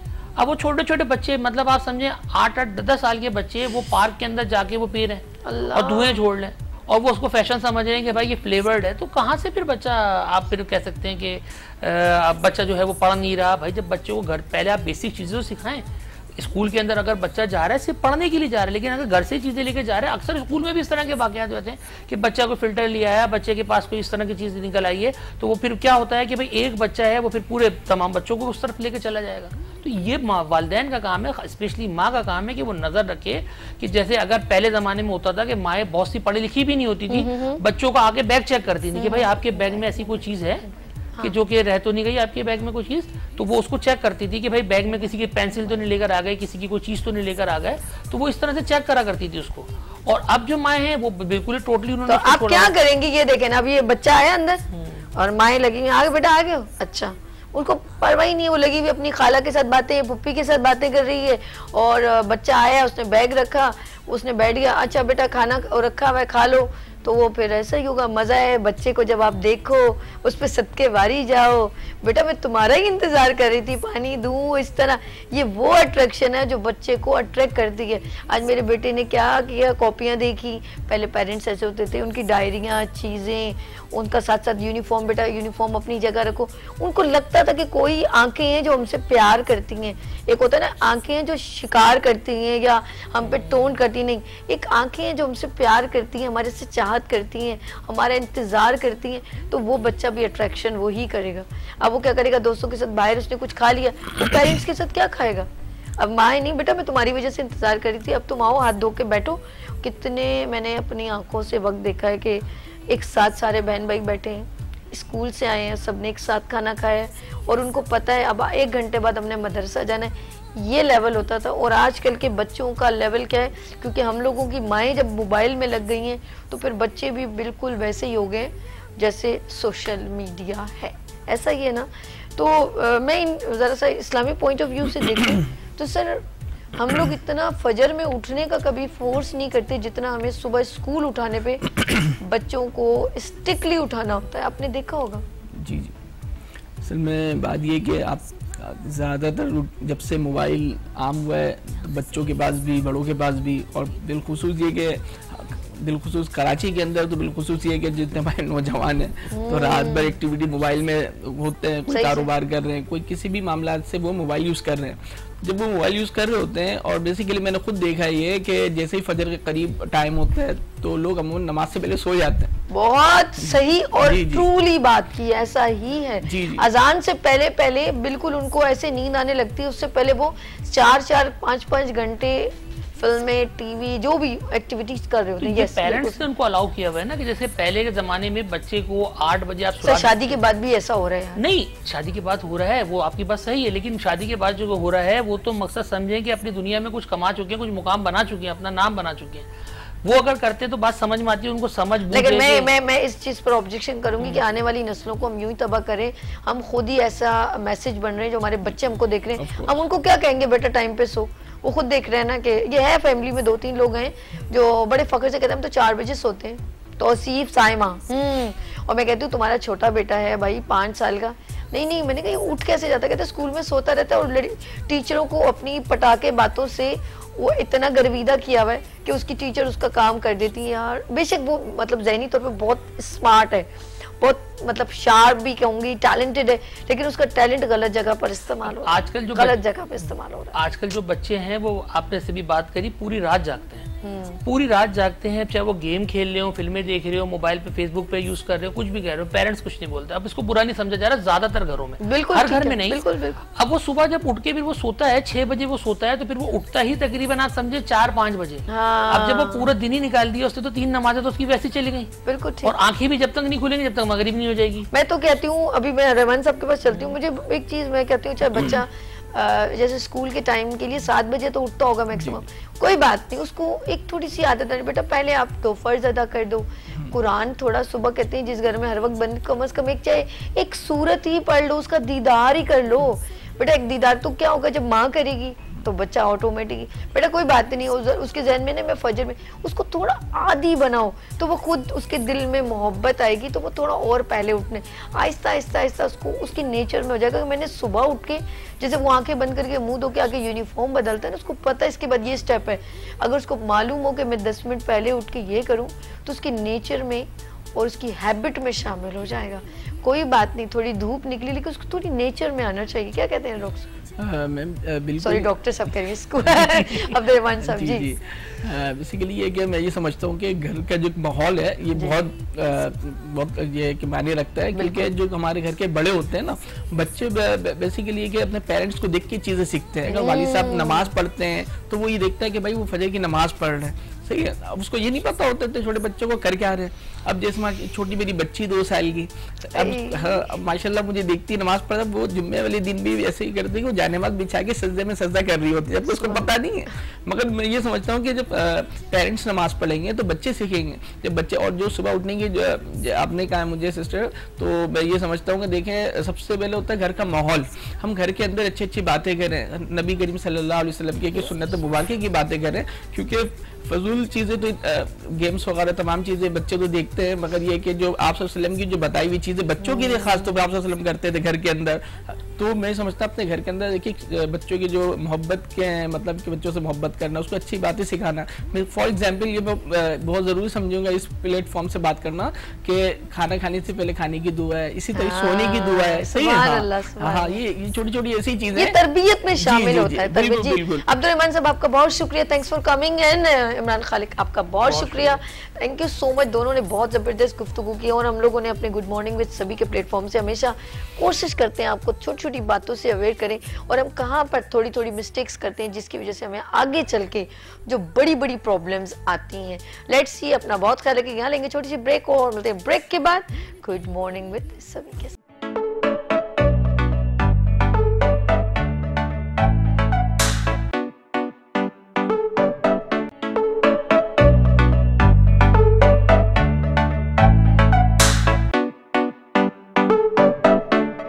मॉर्निंग विद सभी का ये किचन है और मेरे साथ है शेफ सना अस्सलाम वालेकुम कैसे हो? सना अल्लाह का करम। क्या भाई आज कुछ मीठा और नम, खट्टा मीठा नमकीन क्या हाँ, नमकीन भी है और मीठा भी है। पहले मैं नमकीन का बता दूँ। हम हम्म। आज बना रहे हैं ओट्स कटलेट है। बहुत हेल्दी है। कटलेट जी okay. बहुत हेल्दी है। आप स्नैक्स में नाश्ते में या ले सकते हैं बहुत इजीली सेकेंडली हम मीठा बना रहे हैं। तो बड़ा यूनिक सा मीठा है तो पहले ओट कटलेट बता हाँ, पहले ओट कटलेट बना लेते उसके लिए हमने लिया है ये ओट्स है अच्छा जी ये सबसे पहले इन्होंने हाँ, ओटी वही ठीक है उसके बाद ये पीस है मटर है ये हम्म। मैंने चॉप कर ली। हम्म, उठाओ नहीं ना उठाओ इस हाथ से करो और उठाओ नहीं। वो स्क्रीन से आउट हो जाएगा ओके ठीक ठीक। यस कैरेट्स है। हम्म, ठीक है।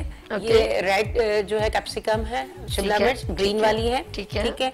और ये जुकीनी इसको लौकी भी आप कह लें जुकीनी ली है मैंने ये भी ग्रेटेड है ग्रेटेड जिंजर लौकी को कद्दूकश किया हुआ है। हाँ लेकिन ये जुकीनी है रेगुलर अगर नहीं मिले किसी को तो वो जुकीनी लौकी ले सकते हैं इसकी जगह ठीक है ना? ठीक है। रेड चिली फ्लेक्स है क्यूमन सीड पाउडर है हम्म। और ये काम सीड है अजवाइन है। ठीक है? और ये चिलीज है ठीक है ठीक है ठीक है और ये एग इसको बाइंडिंग के लिए हम डालेंगे। ठीक है। ठीक है? ओके चलिए स्टार्ट करते हैं हम हाँ, सबसे पहले। अच्छा जी। ये मीठे की चीज़ों को हम अभी साइड हाँ। पे करते हैं। पहले हमें जो चीज़ें डालने अप्रोक्सीमेट वन कप के बराबर जो है ये लिया हुआ है ओट्स लिया है। ठीक है? ये रोल्ड है तो इसमें इतने कुकिंग में इतना टाइम भी नहीं लगता। ये डालेंगे। अच्छा। नेक्स्ट हमारे पास क्या नेक्स्ट ये पीस मटर है ये अच्छा ये अपने चूल्हे पे बनाना है? जी। तो इसको पहले इसको फ्राई पैन में गर्म कर दो ताकि इसके बहुत ज़्यादा गर्म हो जाएगा तो अच्छा अच्छा अच्छा ओके ओके ओके ठीक है ठीक ये कैरेट्स हैं। ठीक अच्छा। है जी। अच्छा जी तो वो दे देना ये मुझे दे ओके। तो ओके और ज़रूरत होगी फिर इन्होंने ऐड करना सना हमारे साथ मौजूद अच्छा, है। ये जुकीनी ये भी सब ग्रेट की चीज़ें हैं हमारी। ठीक है जी ठीक है ये जिंजर ओके वाओ अच्छा सब जो है फ्रेश हमने जो है वो किया है ग्रेट हम्म। कर लिया है। गार्लिक है। हम्म, खुशबू भी तो ऐसी आ रही है ये ये लीजिए। ग्रीन चिलीज यार बड़ा मज़े का बनेगा यार जी बहुत हेल्दी है ये। और ये कैप्सिकम है रेड एंड ग्रीन दोनों। ओके ये हमने डाल दी है। पहली बार ओट से यानी कि ज़बरदस्त है हमारे पास ये ऐसी चीज़ें कम ही इस्तेमाल करते। पहली बार ये डिश इस तरह टाइप की देख रही हूँ। देखें इसका क्या रिज़ल्ट आता है।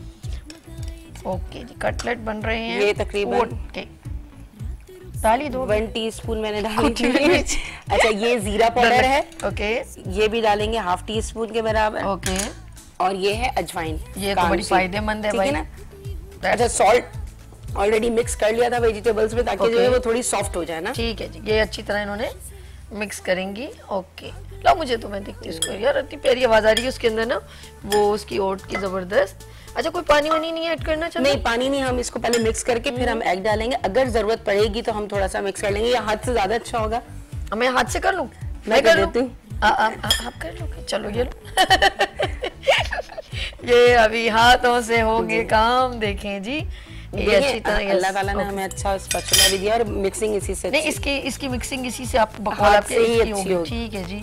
इसकी जो मिक्सिंग अच्छा ज़रूरत ये भी अंदाज़ा हो जाएगा इसके अंदर एग डालने के बाद अगर पानी की ज़रूरत है तो वरना ज़रूरत नहीं वरना एग एक अदद एग है एक है वह मैंने बीट करके रखा हुआ ठीक है ठीक है। और बहुत okay. अच्छे से इसको आपने ऐसे हाथ से दबा दबा के मिक्स करना क्योंकि वेजिटेबल का अपना पानी निकलेगा राइट right. तो उससे ही इसकी बाइंडिंग अच्छी हो जाएगी। डन हो गया जी डन हो गया। ज़बरदस्त।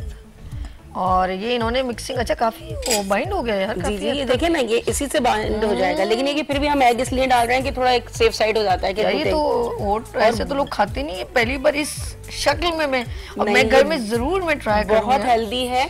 अच्छा ये हम एग हमने बीट तो करके रखा है लेकिन ज़रूरी नहीं कि हम पूरा डालें तो थोड़ा थोड़ा डाल के अच्छा, चेक कर लें। ताकि ये लिक्विड फॉर्म में बहुत ज़्यादा लिक्विड ना हो हमें बाइंड की हद तक की ज़रूरत है इसका मतलब। ठीक है जी। ओके ये देखें वाह ज़बरदस्त। ओहो। पूरा ही डाल इसमें। अब हमें ज़रूरत है पूरा ही ऐड कर दिया उसमें। ठीक है जी हमने इसको एग को पूरा ही डाल दिया। ये भी मैं तो कह रही हूँ ये ये थोड़ी सी गाजर डाल ही दो। डाल है ना? ऐसे यहाँ पर यूज़ भी नहीं हो तो फ़ायदा नहीं। यस दैट्स गुड ओहो खुशबू अदरक लहसुन अजवाइन। और सब कुछ फ्रेश चॉप किया ना तो उसका एक अलग ही हाँ, अरोमा आ रहा है आ रहा है। अच्छा इसको बस आप जैसे पाँच मिनट के लिए दस घर में है तो दस पंद्रह मिनट के लिए रख दीजिए कि और अच्छे से बाइंड हो जाएगा लेकिन ज़ाहिर सी बात है हम हम लाइव शो में ठीक ठीक तो इसको जितना अच्छे से मैं बाइंड कर सकूँ। हम्म, इसकी कोई टिक्कियाँ बनानी पड़ेगी? जी जी जी जो कटलेट के शेप है शेप आपकी तो अपनी मर्ज़ी है कि किसी से। ऑफ़ कोर्स जी। इसमें आप बना बना के रखें ना ये ना प्लेट ले लें। यस आप बनाइए इसमें। अच्छा मैं हाँ ओके वाह थोड़ा सा मैसी हो जाता है क्योंकि आप ज़्यादा ज़्यादा हाथ से काम करना है। नहीं नहीं इट्स ओके इट्स ओके आप बनाइए बनाइए। अच्छा शेप जो भी आपको पसंद हो आप वो अपनी बना सकते हैं। हम्म, हम्म। लेकिन अगर हम इसको थोड़ी देर रेस्ट देंगे ना तो ये अच्छे से और बाइंड हो हाँ मैं मैं बनाती हूँ आप जरा सा हाथ वो पानी उधर रखा आप उसको वॉश करें साफ़ करें ताकि आपके हाथों से ना चिपके बिस्मिल्लाह रहमान रहीम। मैं भी जरा ट्राई करूँ कि आया कि ये जो है आ, मेरा इस वक्त स्क्रीन पे देखें आपकी मर्ज़ी आप और वाकई में चिपक रहा है। भाई बाइंड हो गया यार ज़बरदस्त ज़बरदस्त। वाओ अब आप इस शेप में भी बना सकते हैं। आप कबाब की सूरत में भी जस्ट लाइक like मेरी बहन सना ने कहा। सना ऐसे ही है? जी जी अब आप बनाए। मेरे से तो ज़्यादा अच्छा नहीं हो रहा। आप ज़्यादा अच्छा बनाओगे। मैं अब मैं वॉश कर अब मैं वॉश करती हूँ। ठीक है जी। ओके दैट्स गुड ये हमारा किचन है. गुड मॉर्निंग विद सभी का है किचन और हमने जो है ज़बरदस्त सना जो बना रही है। सना ये ये ये रेसिपी कैसे क्रिएट की आपने? रेसिपी uh, ऐसे क्योंकि मैं बनाती रहती हूँ ज़ाहिर सी बात है मेरा काम ऐसा है कि मुझे हेल्दी मील भी बनाना होता है। बहुत okay. सारे मेरे जो कस्टमर्स हैं उनको हेल्दी मील चाहिए होता है। तो फिर मैं उसमें उनको ये लंच वगैरह okay. के लिए स्नैक्स के लिए देती हूँ। क्योंकि ऑयल अच्छा, कितना भी डालना है ऑयल बस हम इसको शेलो फ्राई करेंगे। थोड़ा सा थोड़ा सा मिकदार में डाल दूँ? हाँ बस थोड़ा शेलो ना डीप फ्राई भी नहीं करना हमें अच्छा शेलो फ्राई करना तो फिर हल्का सा ही डालना पड़ेगा थोड़ा सा डाल बता दीजिएगा मुझे। नहीं नहीं डालें और डालें डालें। हल्का सा ओके गुड हो गया? ओके।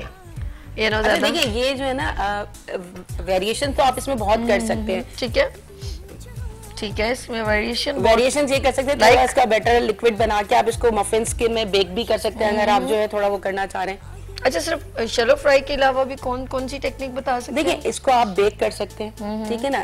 इसका बेक करने का उसमें ये तो ड्राई हो जाएगा बेक में। हल्का सा आपने ऑयल की भी ज़रूरत नहीं है बेकिंग में तो नहीं पड़ेगी। अच्छा हम इसके अंदर भी तो थोड़ा सा ऑयल डाल सकते हैं? दुपट्टा कोई बात नहीं ओके वो असल में मैंने कहा था कि लेकिन वही बात है कि चले खैर कोई बात वो मुझे पता है ना ऑर्गेन्जा का दुपट्टा जो है ना टिकता नहीं है।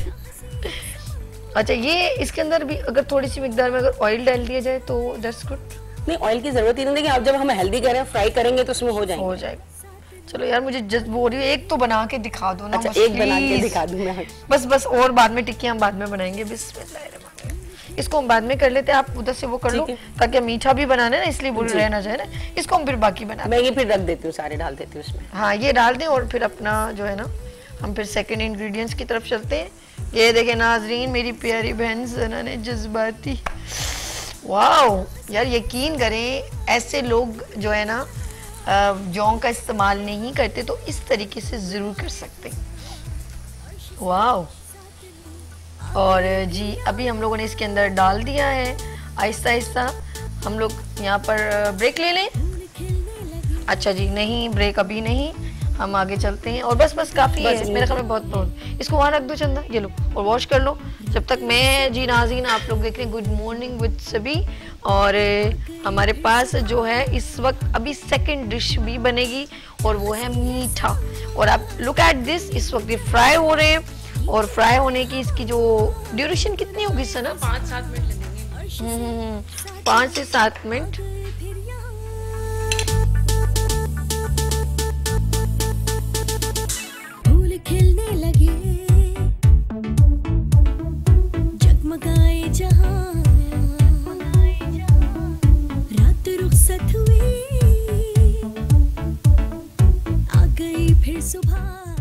ज़बरदस्त। अच्छा देखिए अब ये आप इसको ओके तो ये दूसरा कांटा भी यूज़ कर सकते हैं। इसको सपोर्ट सपोर्ट के दो हैं हमारे पास स्टिक्स इस तरह का गोल्डन कलर आने लगेगा हम्म। दोनों तरफ़ से हो जाएगा आराम से ना? ओके।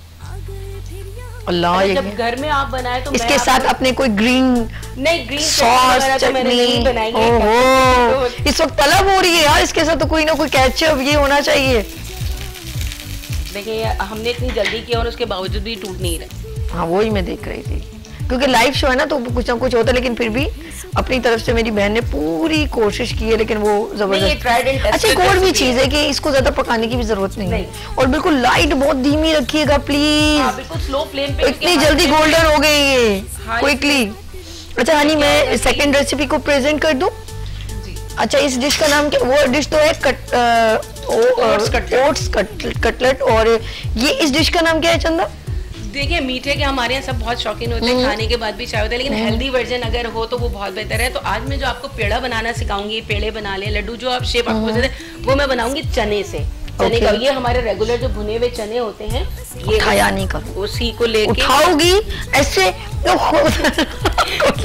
अच्छा इसको हमने जो इसके मतलब हाँ। छिलके वगैरह निकाल के इसका पाउडर बना लिया। ठीक है वन कप ये हम्म। है और हाफ़ कप हमारी शुगर है। इसमें। और वन फोर्थ कप हम इसमें घी लेंगे। पिस्ता चूस की गार्निशिंग के लिए हैं। ऑलमंड्स जो है ये हम इसमें सेंटर में डालेंगे। अच्छा ये मैंने एक दो इसका डेकोरेशन के लिए भी निकाल दिए थे। हाँ हाँ ठीक ठीक ठीक। हाँ ये ये चार दान आपने दो तोड़ दिए थे इसलिए। ओके पिस्ता एंड बादाम। हो गया जी डन हो गया ये? वाह ज़बरदस्त। ओके। ये प्लेट्स रख दूँ? देखो, मैं कितनी हेल्प करती हूँ ना। मैं अच्छी बच्ची हूँ भाई, मैं बहुत अच्छी बच्ची हूँ। और मैं ऐसे काम करती हूँ जिससे सब मेरी तारीफ़ करो, मुझे ज़्यादा मकदार में मैं चीज़ खा सकूँ। फिर मैं कहूँ दिस इज़ माई राइट आप इसको प्लेट में निकालना चाहें तो निकाल लीजिए, ठीक है? ओके सना ने सना कितने टाइम से आपको ये माशाल्लाह ये अच्छा फेसबुक बताए ना लोग आप फेसबुक पे ज्वाइन करें। देखिए मेरा हम्म। जो पेज है वो तकरीबन उसको तो पाँच सात साल हो गए हैं आराम से। Cooking hmm. कर रही है। अच्छा देखिए ये ऑयल भी ऑब्ज़र्व नहीं कर रहे। ये मैं देख रही हूँ। ये बिल्कुल थोड़ी देर में इतने अच्छे हो जाएँगे। मैं चिकन डाल चिकन ऑप्शनल है आप डालना चाहें तो डाल सकते हैं। हम्म। ज़बरदस्त। यार बहुत हेल्दी है बच्चे बड़े शौक से खा सकते हैं।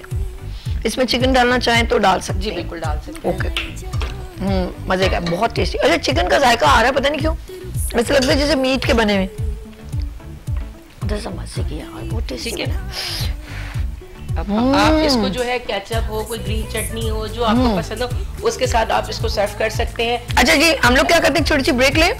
हम यहाँ पर ब्रेक फिर मीठा शुरू करते हैं सेकंड रेसिपी यानी कि छोटी सी ब्रेक को मिलते हैं। ब्रेक के बाद गुड मॉर्निंग विद सभी के साथ।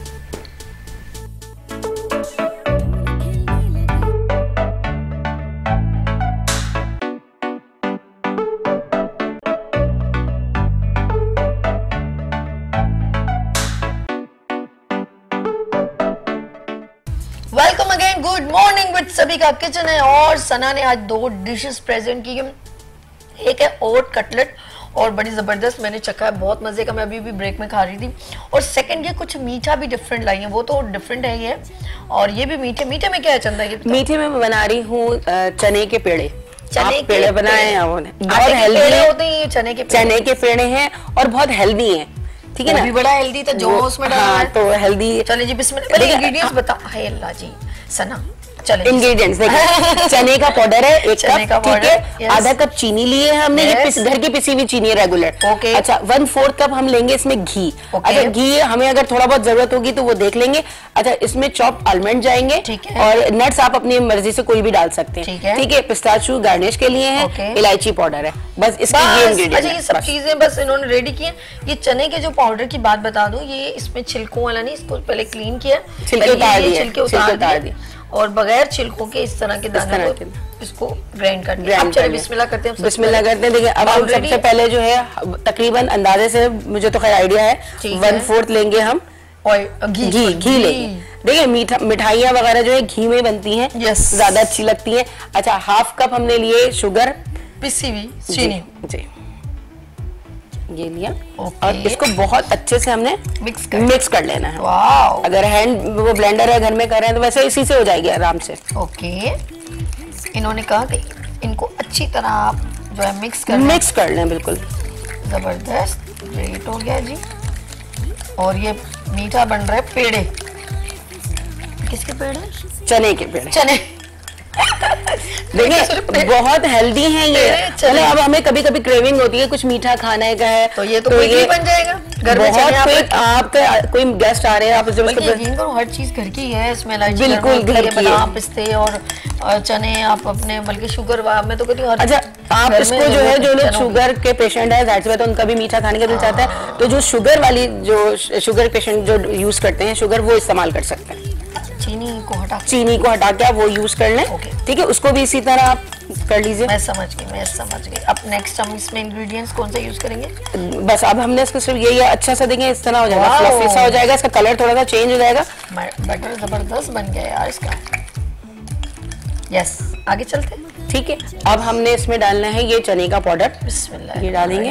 सारा डाल दिया हमने? ओके हम्म। गुड हो गया। यार बचपन की बातें याद अच्छा ये इलायची पाउडर मीठा इसके बगैर अधूरा है। इलायची पाउडर। गुड हो गया इलायची पाउडर। ठीक है। अच्छा ये जो चॉप्ड आलमंड थे ये भी हम डाल देंगे। गुड हो गया। यार ये तो ज़बरदस्त मीठा रहा यार। सना तुसी तो ग्रेट हो यार। ऐसे मीठी चीज़ें तो कम लोग इतना बनाते हैं। वाह ज़बरदस्त।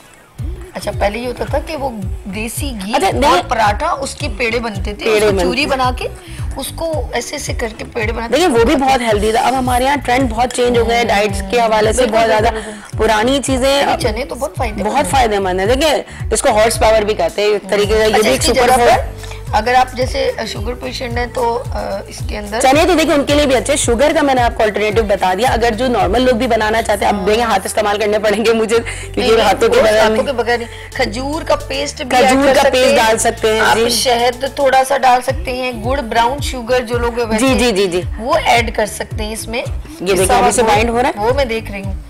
इसको बहुत सिर्फ़ हमारे जो है हाथों से जब हम इसको अच्छे से मिक्स करेंगे हाथ की गर्मी से जो हमारा जो घी है वो और मेल्ट हो जाएगा अगर हमें कभी लगा ज़रूरत पड़ी तो हम थोड़ा सा और डाल देंगे इसके अंदर। ओके। और ये बस अब रेडी है। ज़बरदस्त। क्या बात है मेरी बहन। अच्छा ये बताएँ कहाँ कहाँ अपनी जो शेफ की जो है एक्सपीरियंस शेयर किया एक्सपीरियंस कराची मैरियट होटल में एक इवेंट हुआ था इटालियन कुजीन के हवाले से ना। तो वहाँ पर मैं अपने इंस्टीट्यूट की तरफ़ से गई थी। तो अच्छा इसमें मैं मुझे लग रहा है थोड़ा सा बिल्कुल ना थोड़ा सा घी और डालेंगे। ओके डन हो गया। अच्छा अच्छा तो वहाँ अल्हम्दुलिल्लाह मैंने फ़र्स्ट पोजीशन ली थी इटालियन कुजिन में। और वहाँ इटली की जो है कॉन्सुलेट आई थी। वहाँ पर ज़बरदस्त। और सेकंड अचीवमेंट मेरी ये थी कि हम इटली गए थे बाकायदा। इटली में एक कंपटीशन हुआ था। तकरीबन थर्टीन फोर्टीन कंट्रीज़ ने पार्टिसिपेट किया था। Okay. तो पाकिस्तान से मैं और मेरी टीम गए थे और माशाल्लाह वहाँ हम लोगों ने फोर्थ पोजीशन ली थी। ओके गुड ज़बरदस्त। मैंने कहा यार ये तो बड़ी टैलेंटेड है ब्रेक में बात हो रही थी। हमारे नाजरीन को भी पता चले। कि किस तरीके से जो है बच्चे हैं मैं कहती हूँ कि खातन तो देखें खाना पकाना खातन का काम ही है उन्होंने पकाना ही है। हाँ, हाँ। लेकिन ये कि जब आप पढ़ लिख के उस फ़ील्ड में आगे बनाते हैं तो आपके ये है कि बेशक अगर आप फ़ील्ड में नहीं भी तो आपके घर की कुकिंग बहुत बेहतर हो जाती है। और अब तो एक प्रोफेशन है और पूरी नहीं बस सही बस हो गया अब देखते बनना शुरू हो गया बाउल देखिए कैसे करती है। वाह इसमें पिस्ता नहीं डाला? पिस्ता ऊपर से गार्निश के लिए रखें अच्छा ठीक है ठीक है ठीक है आप देखें जी।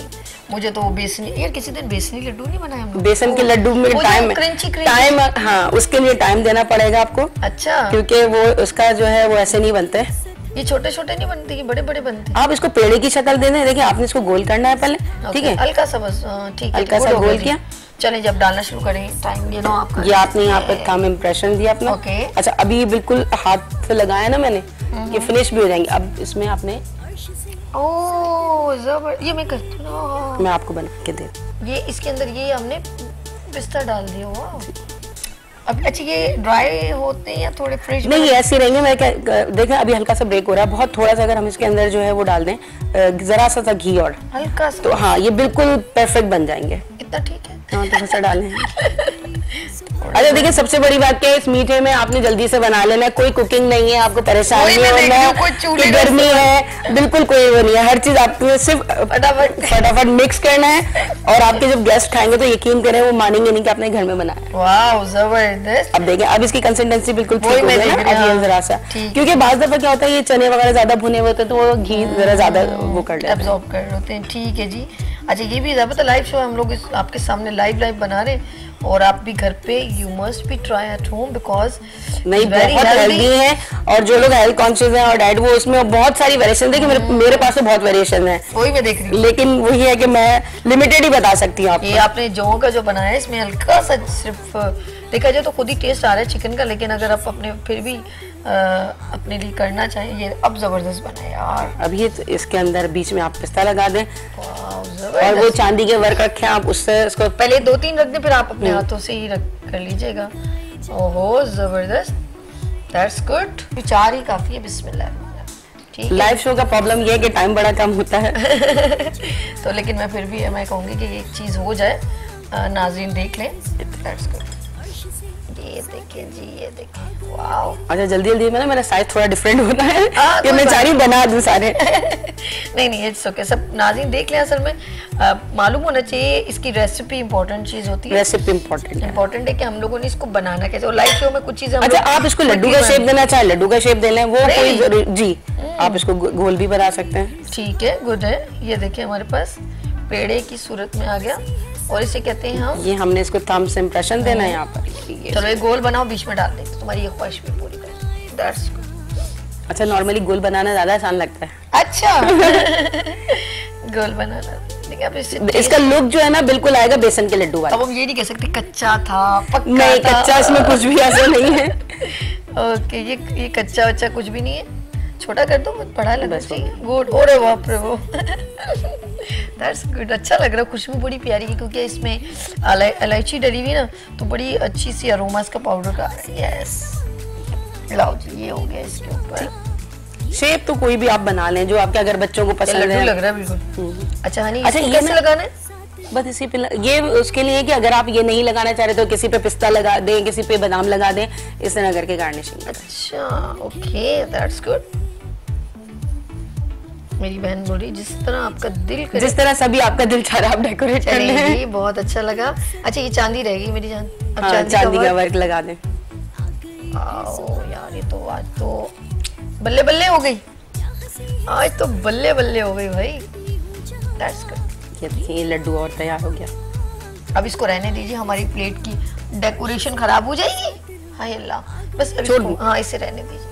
क्योंकि वो डेकोरेशन में मैंने जो अच्छा फिर ये हम बाद में बना लेंगे हाँ हाँ बिल्कुल बिल्कुल। एंड सना कुछ कहना चाहेंगी? कुछ खास बात जो आपको लगता है यार ये बात मुझे आज शेयर करनी है? कोई हो टिप्स वगैरह? जी दोनों डिश का नाम ले ले इसको रिपीट करें। हाँ रिपीट में ये है कि ओट्स कटलेट बनाए थे हमने। हाँ। ठीक है ना? बहुत हेल्दी है ये मतलब स्नैक्स में ले सकते हैं आप नाश्ते में ले सकते हैं। सेकंड ये है चने का पेड़ा लड्डू जो आप कह और ये नो कुक रेसिपी है ज़बरदस्त। कुछ कहना चाह रही थी मैं यही कहती हूँ आपका प्रोग्राम देख रही थी आजकल के बच्चों के हवाले से जो हम्म। बता रही थी आप पेरेंट्स को चाहिए कि वो अपने बच्चों का चेक एंड बैलेंस रखें कि बच्चे क्या कर रहे हैं। क्योंकि हमारी रिस्पॉन्सिबिलिटी है कि हम अपनी जनरेशन को आगे क्या दे रहे हैं। ये हमारे पेरेंट्स की तो मैं पेरेंट्स से यही कहूँगी नो डाउट आफ्टर करें लुक आफ्टर नेसेसरी है आजकल मोबाइल हम्म। भी एक नीड है। लेकिन एक उसको thank you Sana thank you so much हम यहाँ पर जो है ब्रेक की तरफ़ और स्पेशली हकीम अस्करी साहब का प्रोग्राम देखते हैं हेल्थ का। तो लेते हैं यहाँ पर ब्रेक और मिलते हैं। ब्रेक के बाद गुड मॉर्निंग विद सभी के साथ।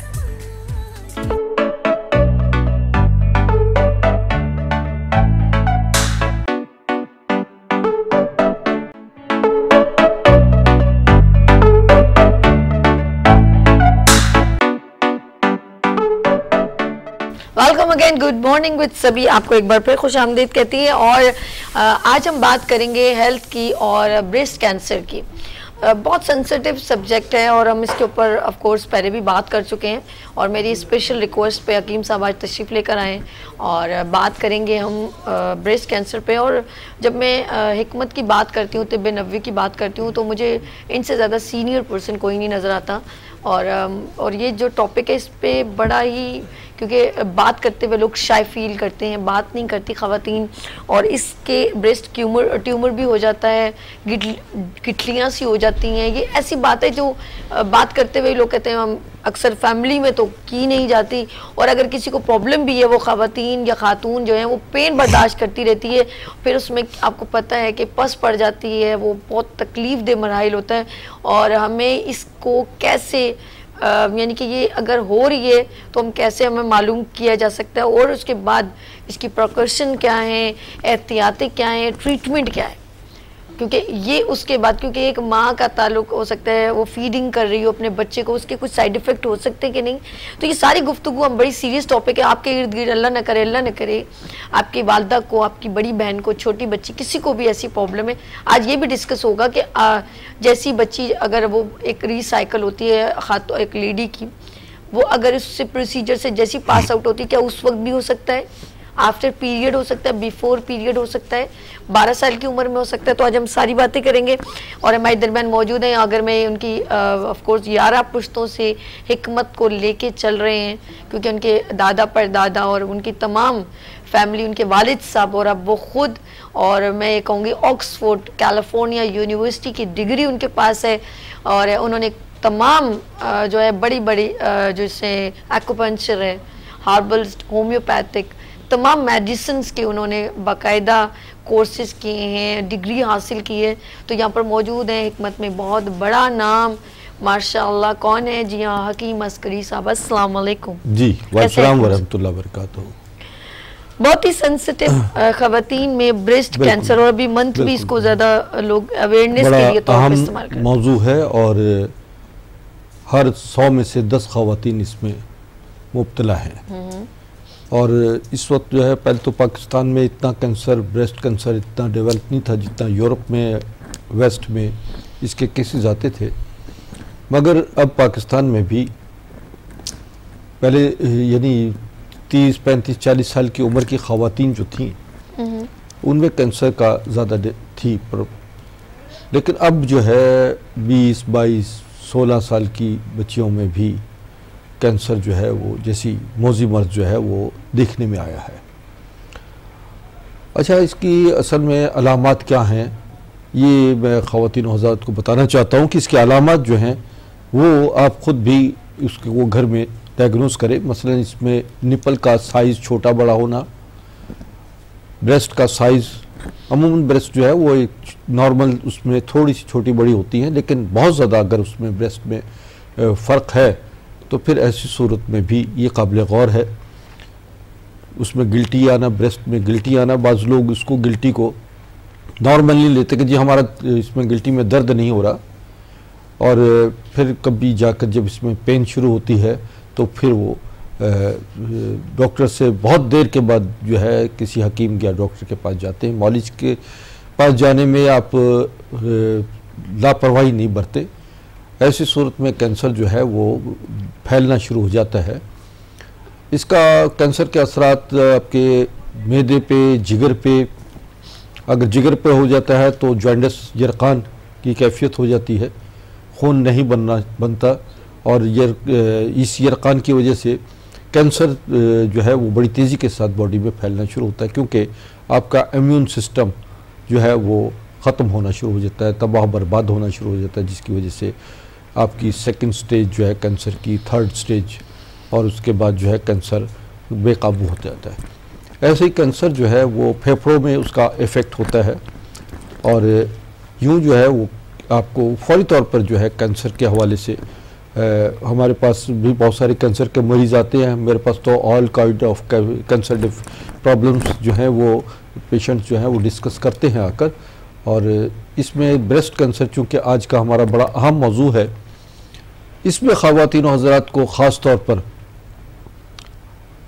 ये देखना चाहिए क्योंकि मर्दों में भी ब्रेस्ट कैंसर का अलामत नज़र आए लेकिन खातन में बहुत ज़्यादा है। अच्छा। जी हाँ।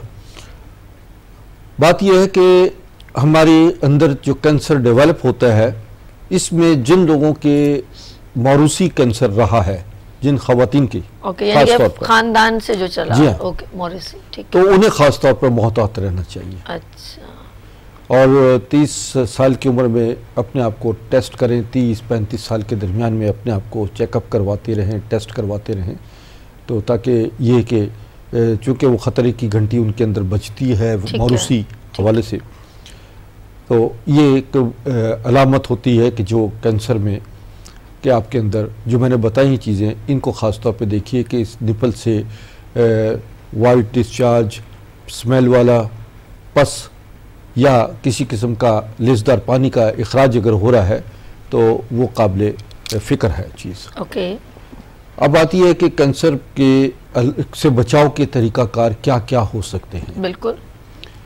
उसमें बुनियादी चीज़ ये है कि सबसे पहले तो अपने मॉलिज से रबता कर लीजिए। और मैंने देखा है कि अगर इब्तदाई स्टेज में भी और जो है थर्ड स्टेज पे भी कई केसेस मेरे पास आए हैं। ठीक है। लास्ट स्टेज के भी पेशेंट्स आए हैं। अगर उन्होंने फौरी तौर पर अपना हमारा ट्रीटमेंट शुरू कर दिया तो 90 डेज़ से लेकर 120 डेज़ तक जो है वो कैंसर कंट्रोल हो जाता है और कैंसर रिमूव हो जाता है बॉडी से। क्योंकि हमारी अद्वियात जो हैं, ये बड़ी इसमें टेक्नोलॉजी नैनो टेक्नोलॉजी है और स्टेम सेल्स पर काम करती है ये। और जैसे ही हम ये अद्वियात देते हैं फ़ौर ये खून में में ऑक्सीजन लेवल बढ़ा देती हैं और जिससे ऑक्सीजन लेवल बढ़ने से खून साफ़ होना शुरू हो जाता है, खून ताकतवर हो जा, होना शुरू होता है और खून की नालियाँ ये खुलना शुरू होती हैं। Okay. खून से क्लॉटिंग ख़त्म हो जाती है और जिस जहाँ जहाँ कैंसर की वजह से ब्लॉकेज हो जाती है वो ब्लॉकेज खुलती है। Okay. इसका कैंसर के असरात ब्रेन पे भी पड़ते हैं। सही।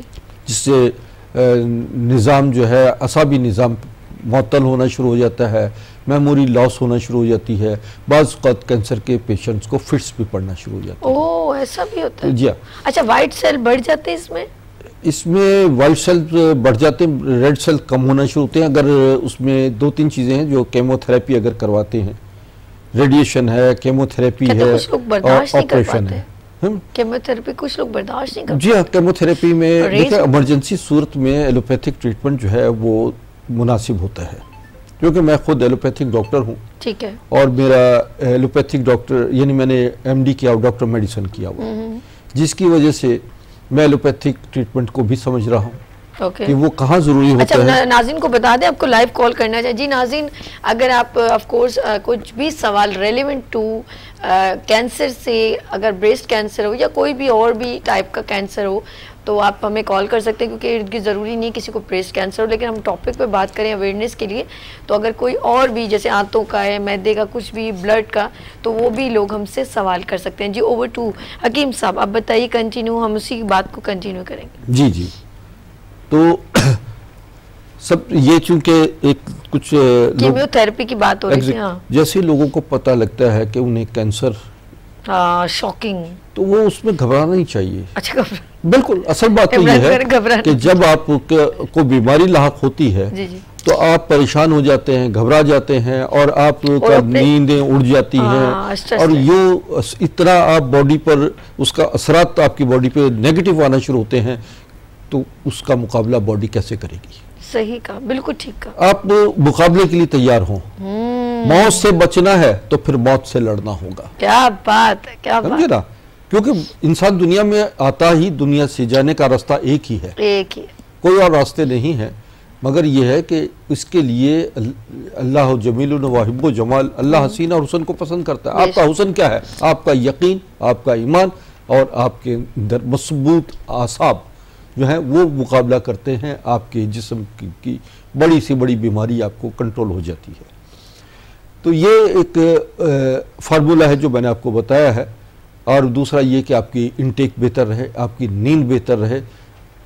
आते हैं हम केमोथेरेपी ओके केमोथेरेपी वक्ती तौर पर आपकी बॉडी से कैंसर को जिस जगह कैंसर है उस जगह कैंसर के इफ़ेक्ट्स को ख़त्म कर देती है।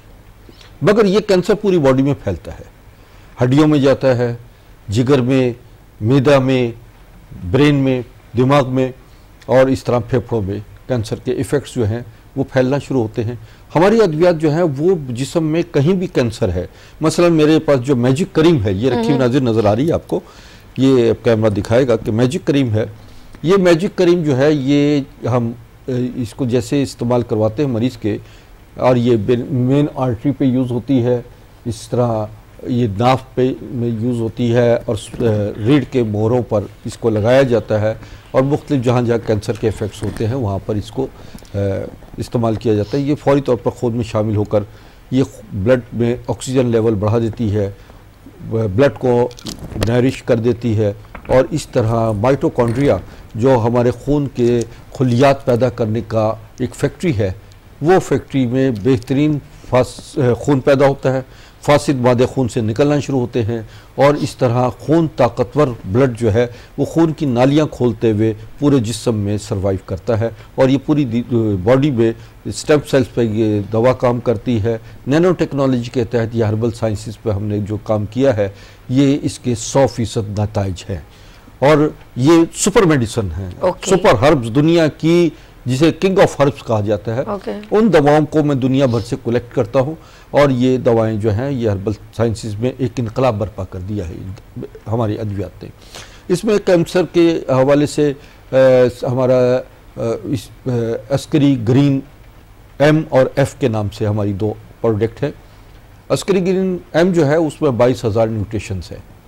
और ये दुनिया का बेहतरीन ग्रीन जरा फिंगर से बताएगा कौन सी स्क्री ग्रीन यहाँ पर? ये हमारे पास जो है ये स्क्री ग्रीन जो है ये रखी है। ओके ठीक है। ये स्क्री ग्रीन है। ओके ये हमारा जिनसिंग है जो बॉडी के लिए बहुत ज़रूरी है जिनसिंग उसको बॉटल के ऊपर रख दें बॉटल के ऊपर ही रख दें रेड वाली के ऊपर रख दें ऐसे कहीं व्हाइट पे रख दें। इधर इधर बीच में सेंटर में। यस ये, ये है अस्क्री ग्रीन यस ये अस्क्री ग्रीन है। ओके और इसमें जो है बाईस हज़ार न्यूट्रिशन मौजूद हैं। यदि दुनिया का बेहतरीन इम्यून सिस्टम को इम्यूनिटी है इसके अंदर यानी मुदाफ़ती निज़ाम आपकी बॉडी का दिफाई निज़ाम जो है मज़बूत होना चाहिए।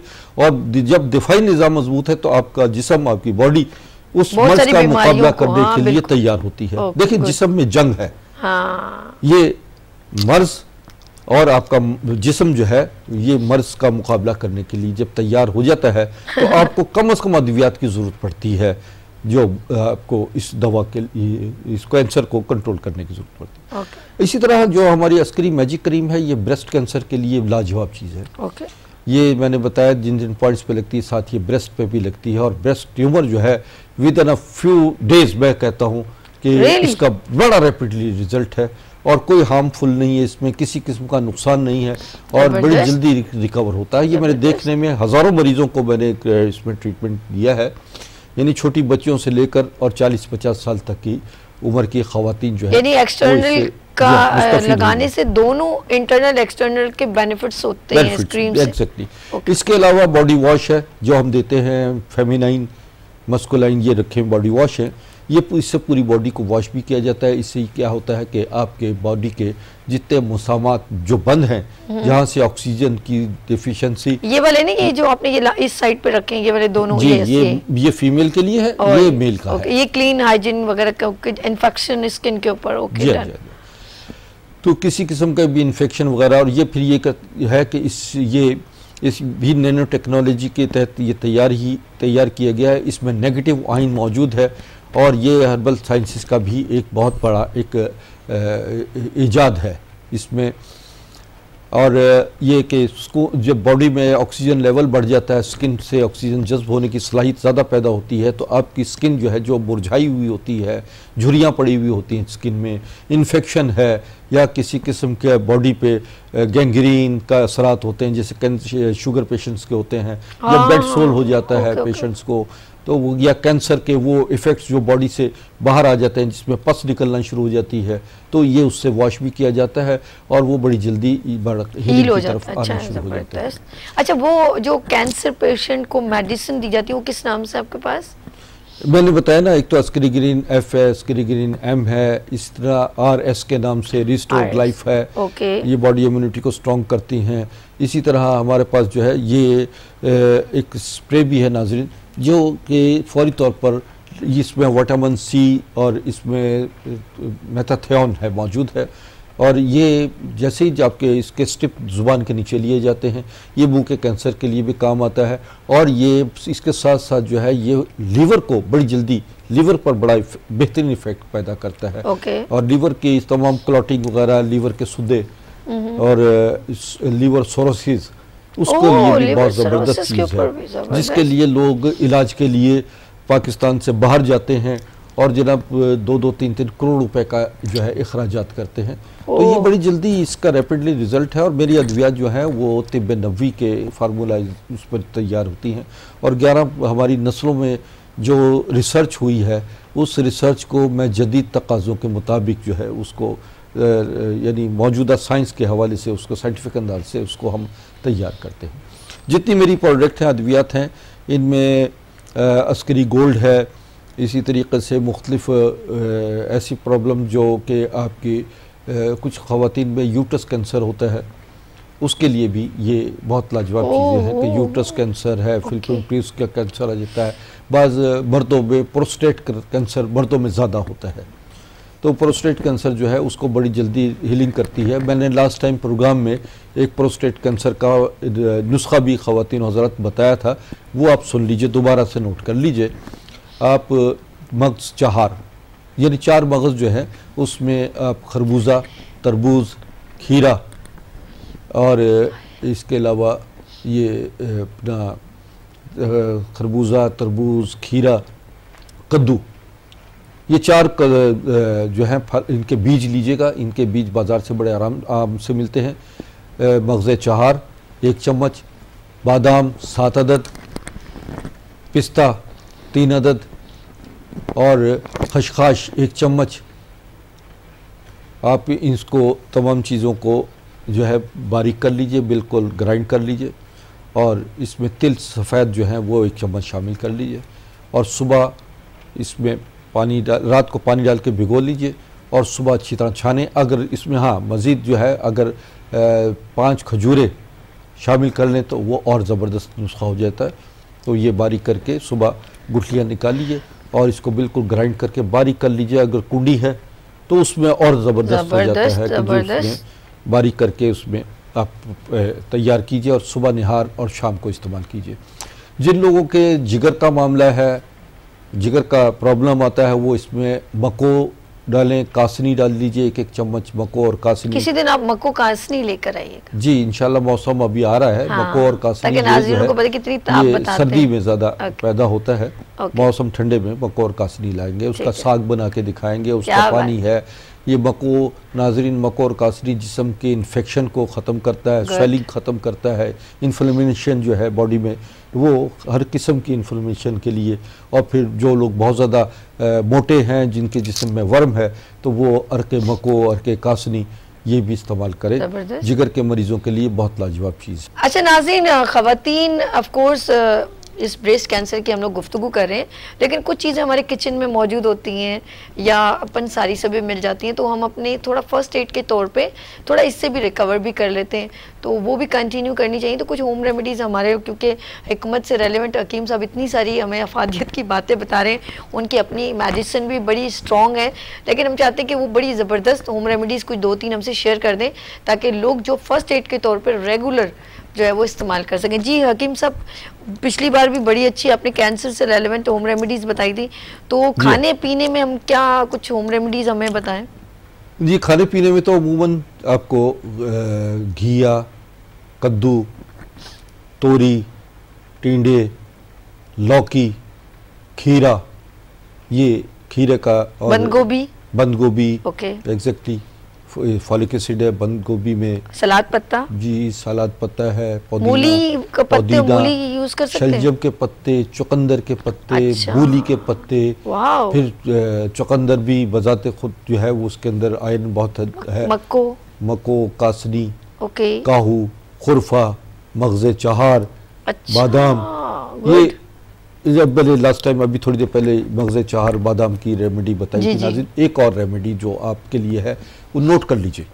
बहुत ज़बरदस्त चीज़ है, जो कि कैंसर को कंट्रोल करने में इसका अच्छा असर मिलते हैं।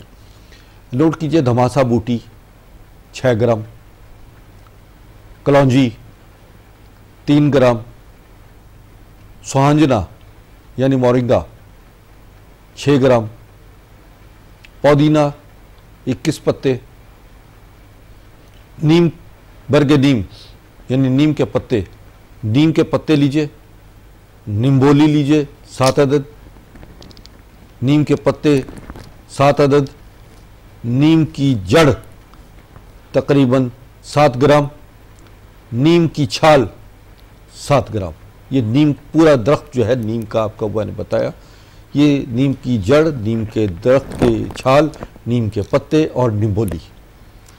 ये आप लीजिए और इसको बॉयल करके इसका कहवा बना के पी सकते हैं इसको पाउडर करके इसको आधा आधा चमचा सुबह शाम पी सकते हैं और ये आपके लिए कैंसर को कंट्रोल करने का एक बेहतरीन नुस्खा आपको मैं बता रहा हूँ। इम्यूनिटी के लिए मैंने आपको मगज़ चार बादाम खजूर और इसी तरह मैंने किश खशखाश वगैरह और किशमिश उसमें शामिल रखें। लास्ट मैंने अभी नुस्खा बताया है अगर आपको मुझसे फ़ोन पे दोबारा ले सकते हैं ये नुस्खा। ऐसे ही जो फल इसमें जो बताई गई हैं, एक और नाजिन नोट कर लीजिए कि वो वो लोग जिनको दिमागी तौर पर फिट्स पड़ना शुरू हो जाते हैं, उसके लिए बेहतरीन नुस्खा है। आप नाजिन नोट कर लीजिए, उसमें कासनी, काहू, खुरफा और मगज़ चहार। ये हम वज़न लीजिए, एक एक चम्मच।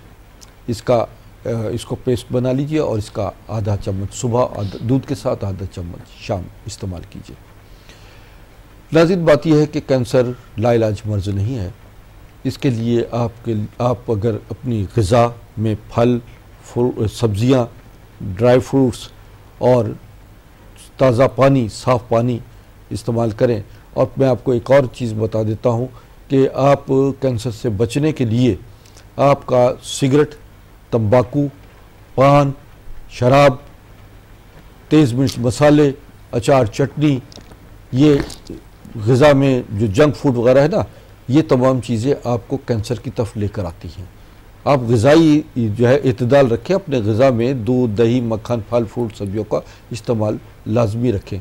और तीसरी बात यह आखिरी बात है कि यकीन और ईमान, जिसे मैं बार बार कहता हूँ, हसद, बुगज़, कीना, गीबत, तोहमत लगाना, साजिशें करने वाले अल्लाह की रहमतों, बरकतों से महरूम रहते हैं और दुनियावी मसाइल में मुबतला हो जाते हैं और जिसमानी अजाब में वो मुबतला हो जाते हैं। इनसे बचने के लिए पाँच वक्त नमाज़ भी पढ़िए, वज़ू कीजिए, लोगों की खिदमत कीजिए, मदद कीजिए और आप ये सोच लीजिए कि आप खुशियाँ बांटेंगे तो आपको खुशियाँ मिलेंगी, आप यकीन बांटेंगे तो यकीन मिलेगा, आप मोहब्बत करेंगे तो मोहब्बत मिलेगी, राय खुदा में खर्च करेंगे तो अल्लाह ताला आपके माल में इजाफा करेगा और हलाल गज़ा खाएँगे तो यकीनन आप अल्लाह के अजाब से बचेंगे। ज़बरदस्त। अच्छा खून को प्योरीफाई करने के लिए अगर जैसे अपने का रेड सेल और वाइट सेल वाइट सेल अगर इंक्रीज हो जाए तो इन वाइट सेल को डिक्रीज करने की कोई होम रेमेडी या किस तरीके से हम कर सकते हैं? देखिए इसमें रेड सेल्स का इजाफा किया जाता है। ठीक है। बैलेंस किया जाता है। व्हाइट सेल को डिक्रीज ना करें। अच्छा। रेड सेल्स को बढ़ा दे। तो वो तो उसके तो लिए अनार का जूस है। उसके लिए रेड सेल्स को जिसे लेप्टस कलेजी कलेजी और एग्जैक्टली exactly आप खुद भी बहुत सारी चीज़ें जानते हैं आप ही ने बताई हमें। चुकंदर भी डायरेक्ट ब्लड एक्टिव करता है। चुकंदर काले अंगूर। और काली किशमिश छोटी किशमिश जो अच्छा। है वो आप लीजिए। काले अंगूर मौसम के लिहाज से तो अच्छे अभी आए आए हुए हैं लेकिन अगर हम लोग कितने खुशकिस्मत है कि वही जो हम अंगूर खाते हैं। उसका हाँ। इजाफा कर लीजिए। ड्राई फ्रूट में आ जाता है ना घूर में तो ब्लड बनाते देखो दोनों चीज़ें मिल जाती बिल्कुल बिल्कुल। इस तरह आप अगर कब्ज है तो उसके लिए अंजीर चार से पाँच दाने रोज़ाना सुबह शाम अंजीर इस्तेमाल कीजिए क्योंकि वो फासिद जो मादा जिसम में आंतों में रह जाता है सफ़ाई नहीं हो पाती लिहाजा आपके टॉक्सिन्स बॉडी से निकल रहे और हकीम साहब ने पिछले प्रोग्राम में बताया था कि जो लोग निहार मूट के अभी आड़ू का सीज़न है एक आड़ू खा ले तो यानी कि डायरेक्टली आपका ब्लड ना बहुत ज़्यादा मकदार में बनेगा और आपकी आंतों का इन्फेक्शन भी इससे रिमूव इसके साथ साथ अगर एक सेब यस कहते हैं कि एक सेब रोज़ाना खाएँ तो आपको डॉक्टर हकीम साहब के पास नहीं जाएगा। मैं जो और जिन लोगों की मेमोरी लॉस है या जो बच्चे चाहते हैं कि उनका बेहतरीन उनका मेमोरी रहे और पोजीशन अच्छी रहे तो वो एक सेब सात दाने बादाम और एक चमचा शहद एक गिलास दूध। क्या बात है या रोज़ाना नाश्ते में इस्तेमाल कीजिए। मैं कहता हूँ कि आपको बच्चे की टॉल भी रहेंगे एक बार फिर बताइएगा ये वाली। एक सेब एक सेब सात दाने बादाम ओके। एक चम्मच शहद ओके। और एक गिलास दूध। ओके। ये तो लाजमी रखें। इसके साथ अगर दो स्लाइस खा लेंगे तो आपका मुकम्मल नाश्ता है। और एक अंडा खा लेते हैं आप मुकम्मल कंप्लीट आपकी डाइट है। न्यूट्रिशन वैल्यू पूरी होगी ये बाकायदा तौर पर अगर बच्चों को यही नाश्ता आप कराते रहेंगे तो बच्चे टॉल भी होंगे सुरखो सफ़ेद होंगे और जहनी जिसमानी असाबी लिहाज से एक मुकम्मल शख्सियत के मालिक बनेंगे। ज़बरदस्त। माशाल्लाह इतना अच्छा इन्होंने ब्रीफ कर दिया। नाजिन यहाँ पर हम लोग लेंगे ब्रेक और मिलते हैं ब्रेक के बाद। गुड मॉर्निंग विद सभी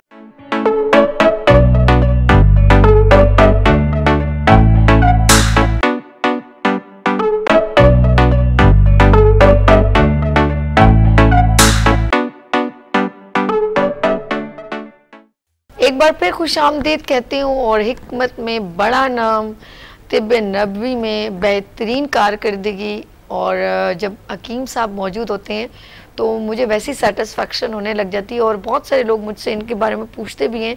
तो फिर ऑफ़ कोर्स हम लोग इनका नंबर भी ट्रांसफ़र करते हैं और स्क्रीन पर भी नंबर मेंशन है। तो माशाल्लाह ऑक्सफोर्ड, कैलिफ़ोर्निया यूनिवर्सिटी के पीएचडी और माशाल्लाह इतनी सारी डिग्रियाँ इनके पास हैं।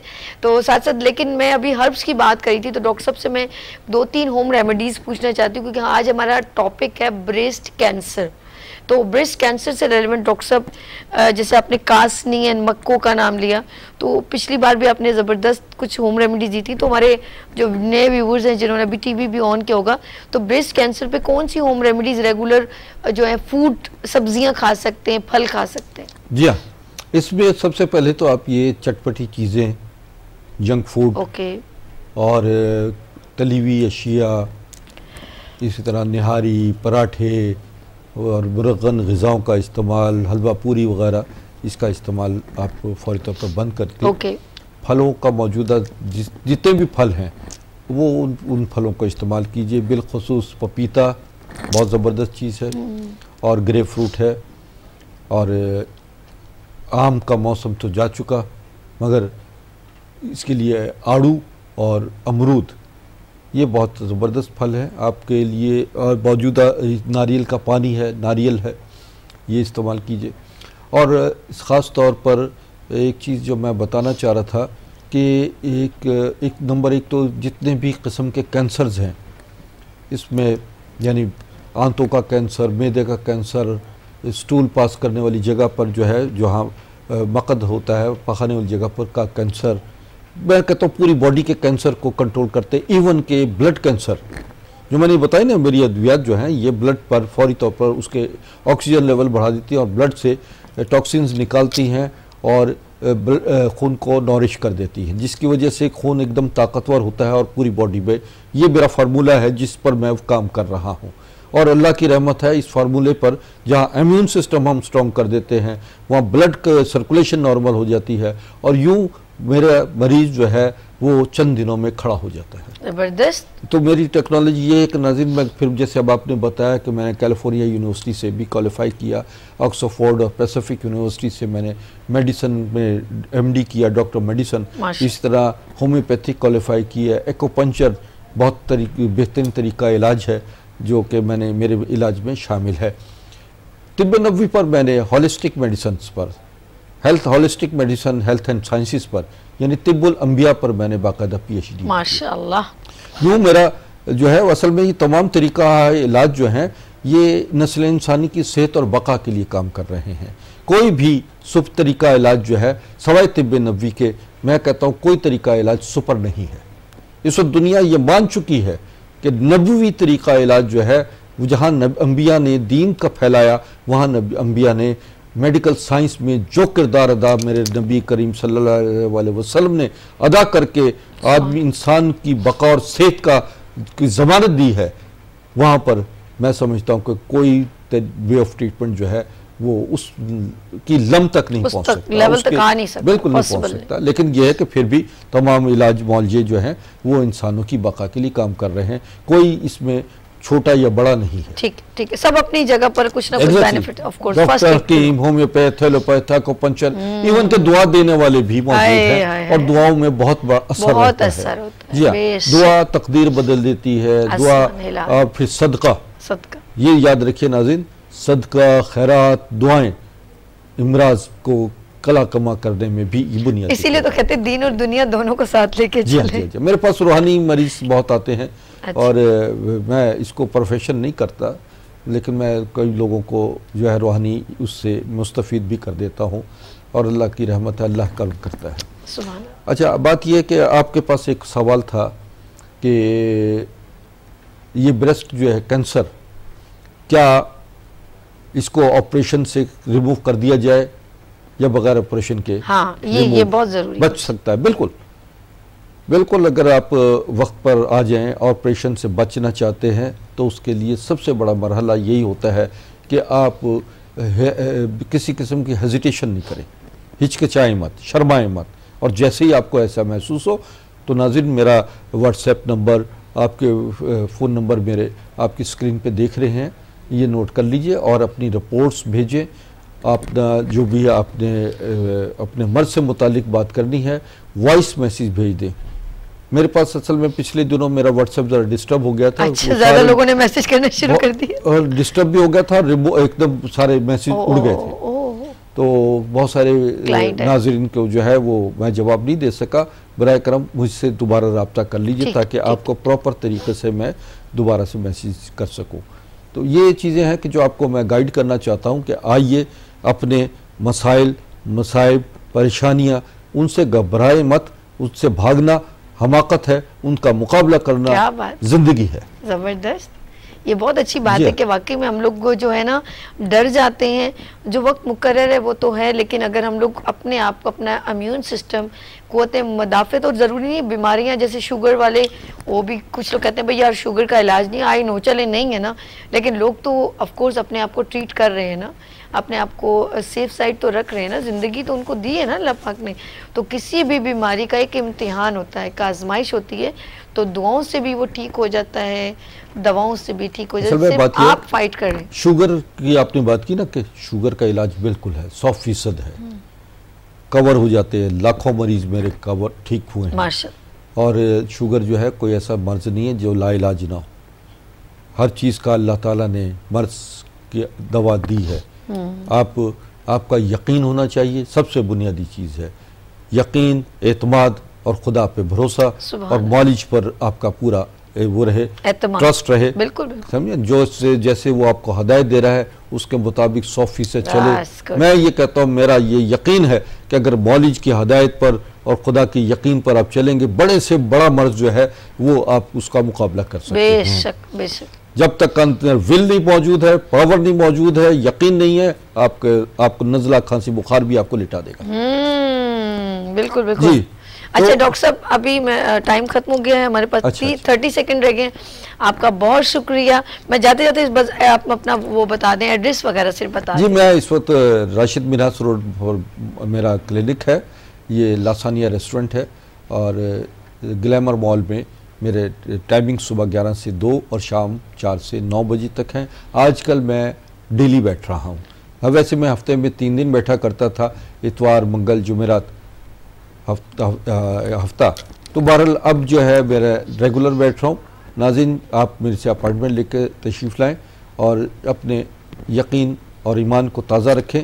इन बहुत में खुदा बफजल ताला आपको अल्लाह ताला से दुआ है कि अल्लाह ताला आपको सेहत याबी अता फरमाए और यकीन और ईमान की कैफियत में रखे। आमीन सुमामीन डॉक्टर साहब बहुत शुक्रिया आपका। जी नाजिन हम लोग यहाँ जाएँगे इजाज़त। अपना बहुत ख्याल रखेगा इन फिर मिलेंगे उभरते सूरज की तरह। अल्लाह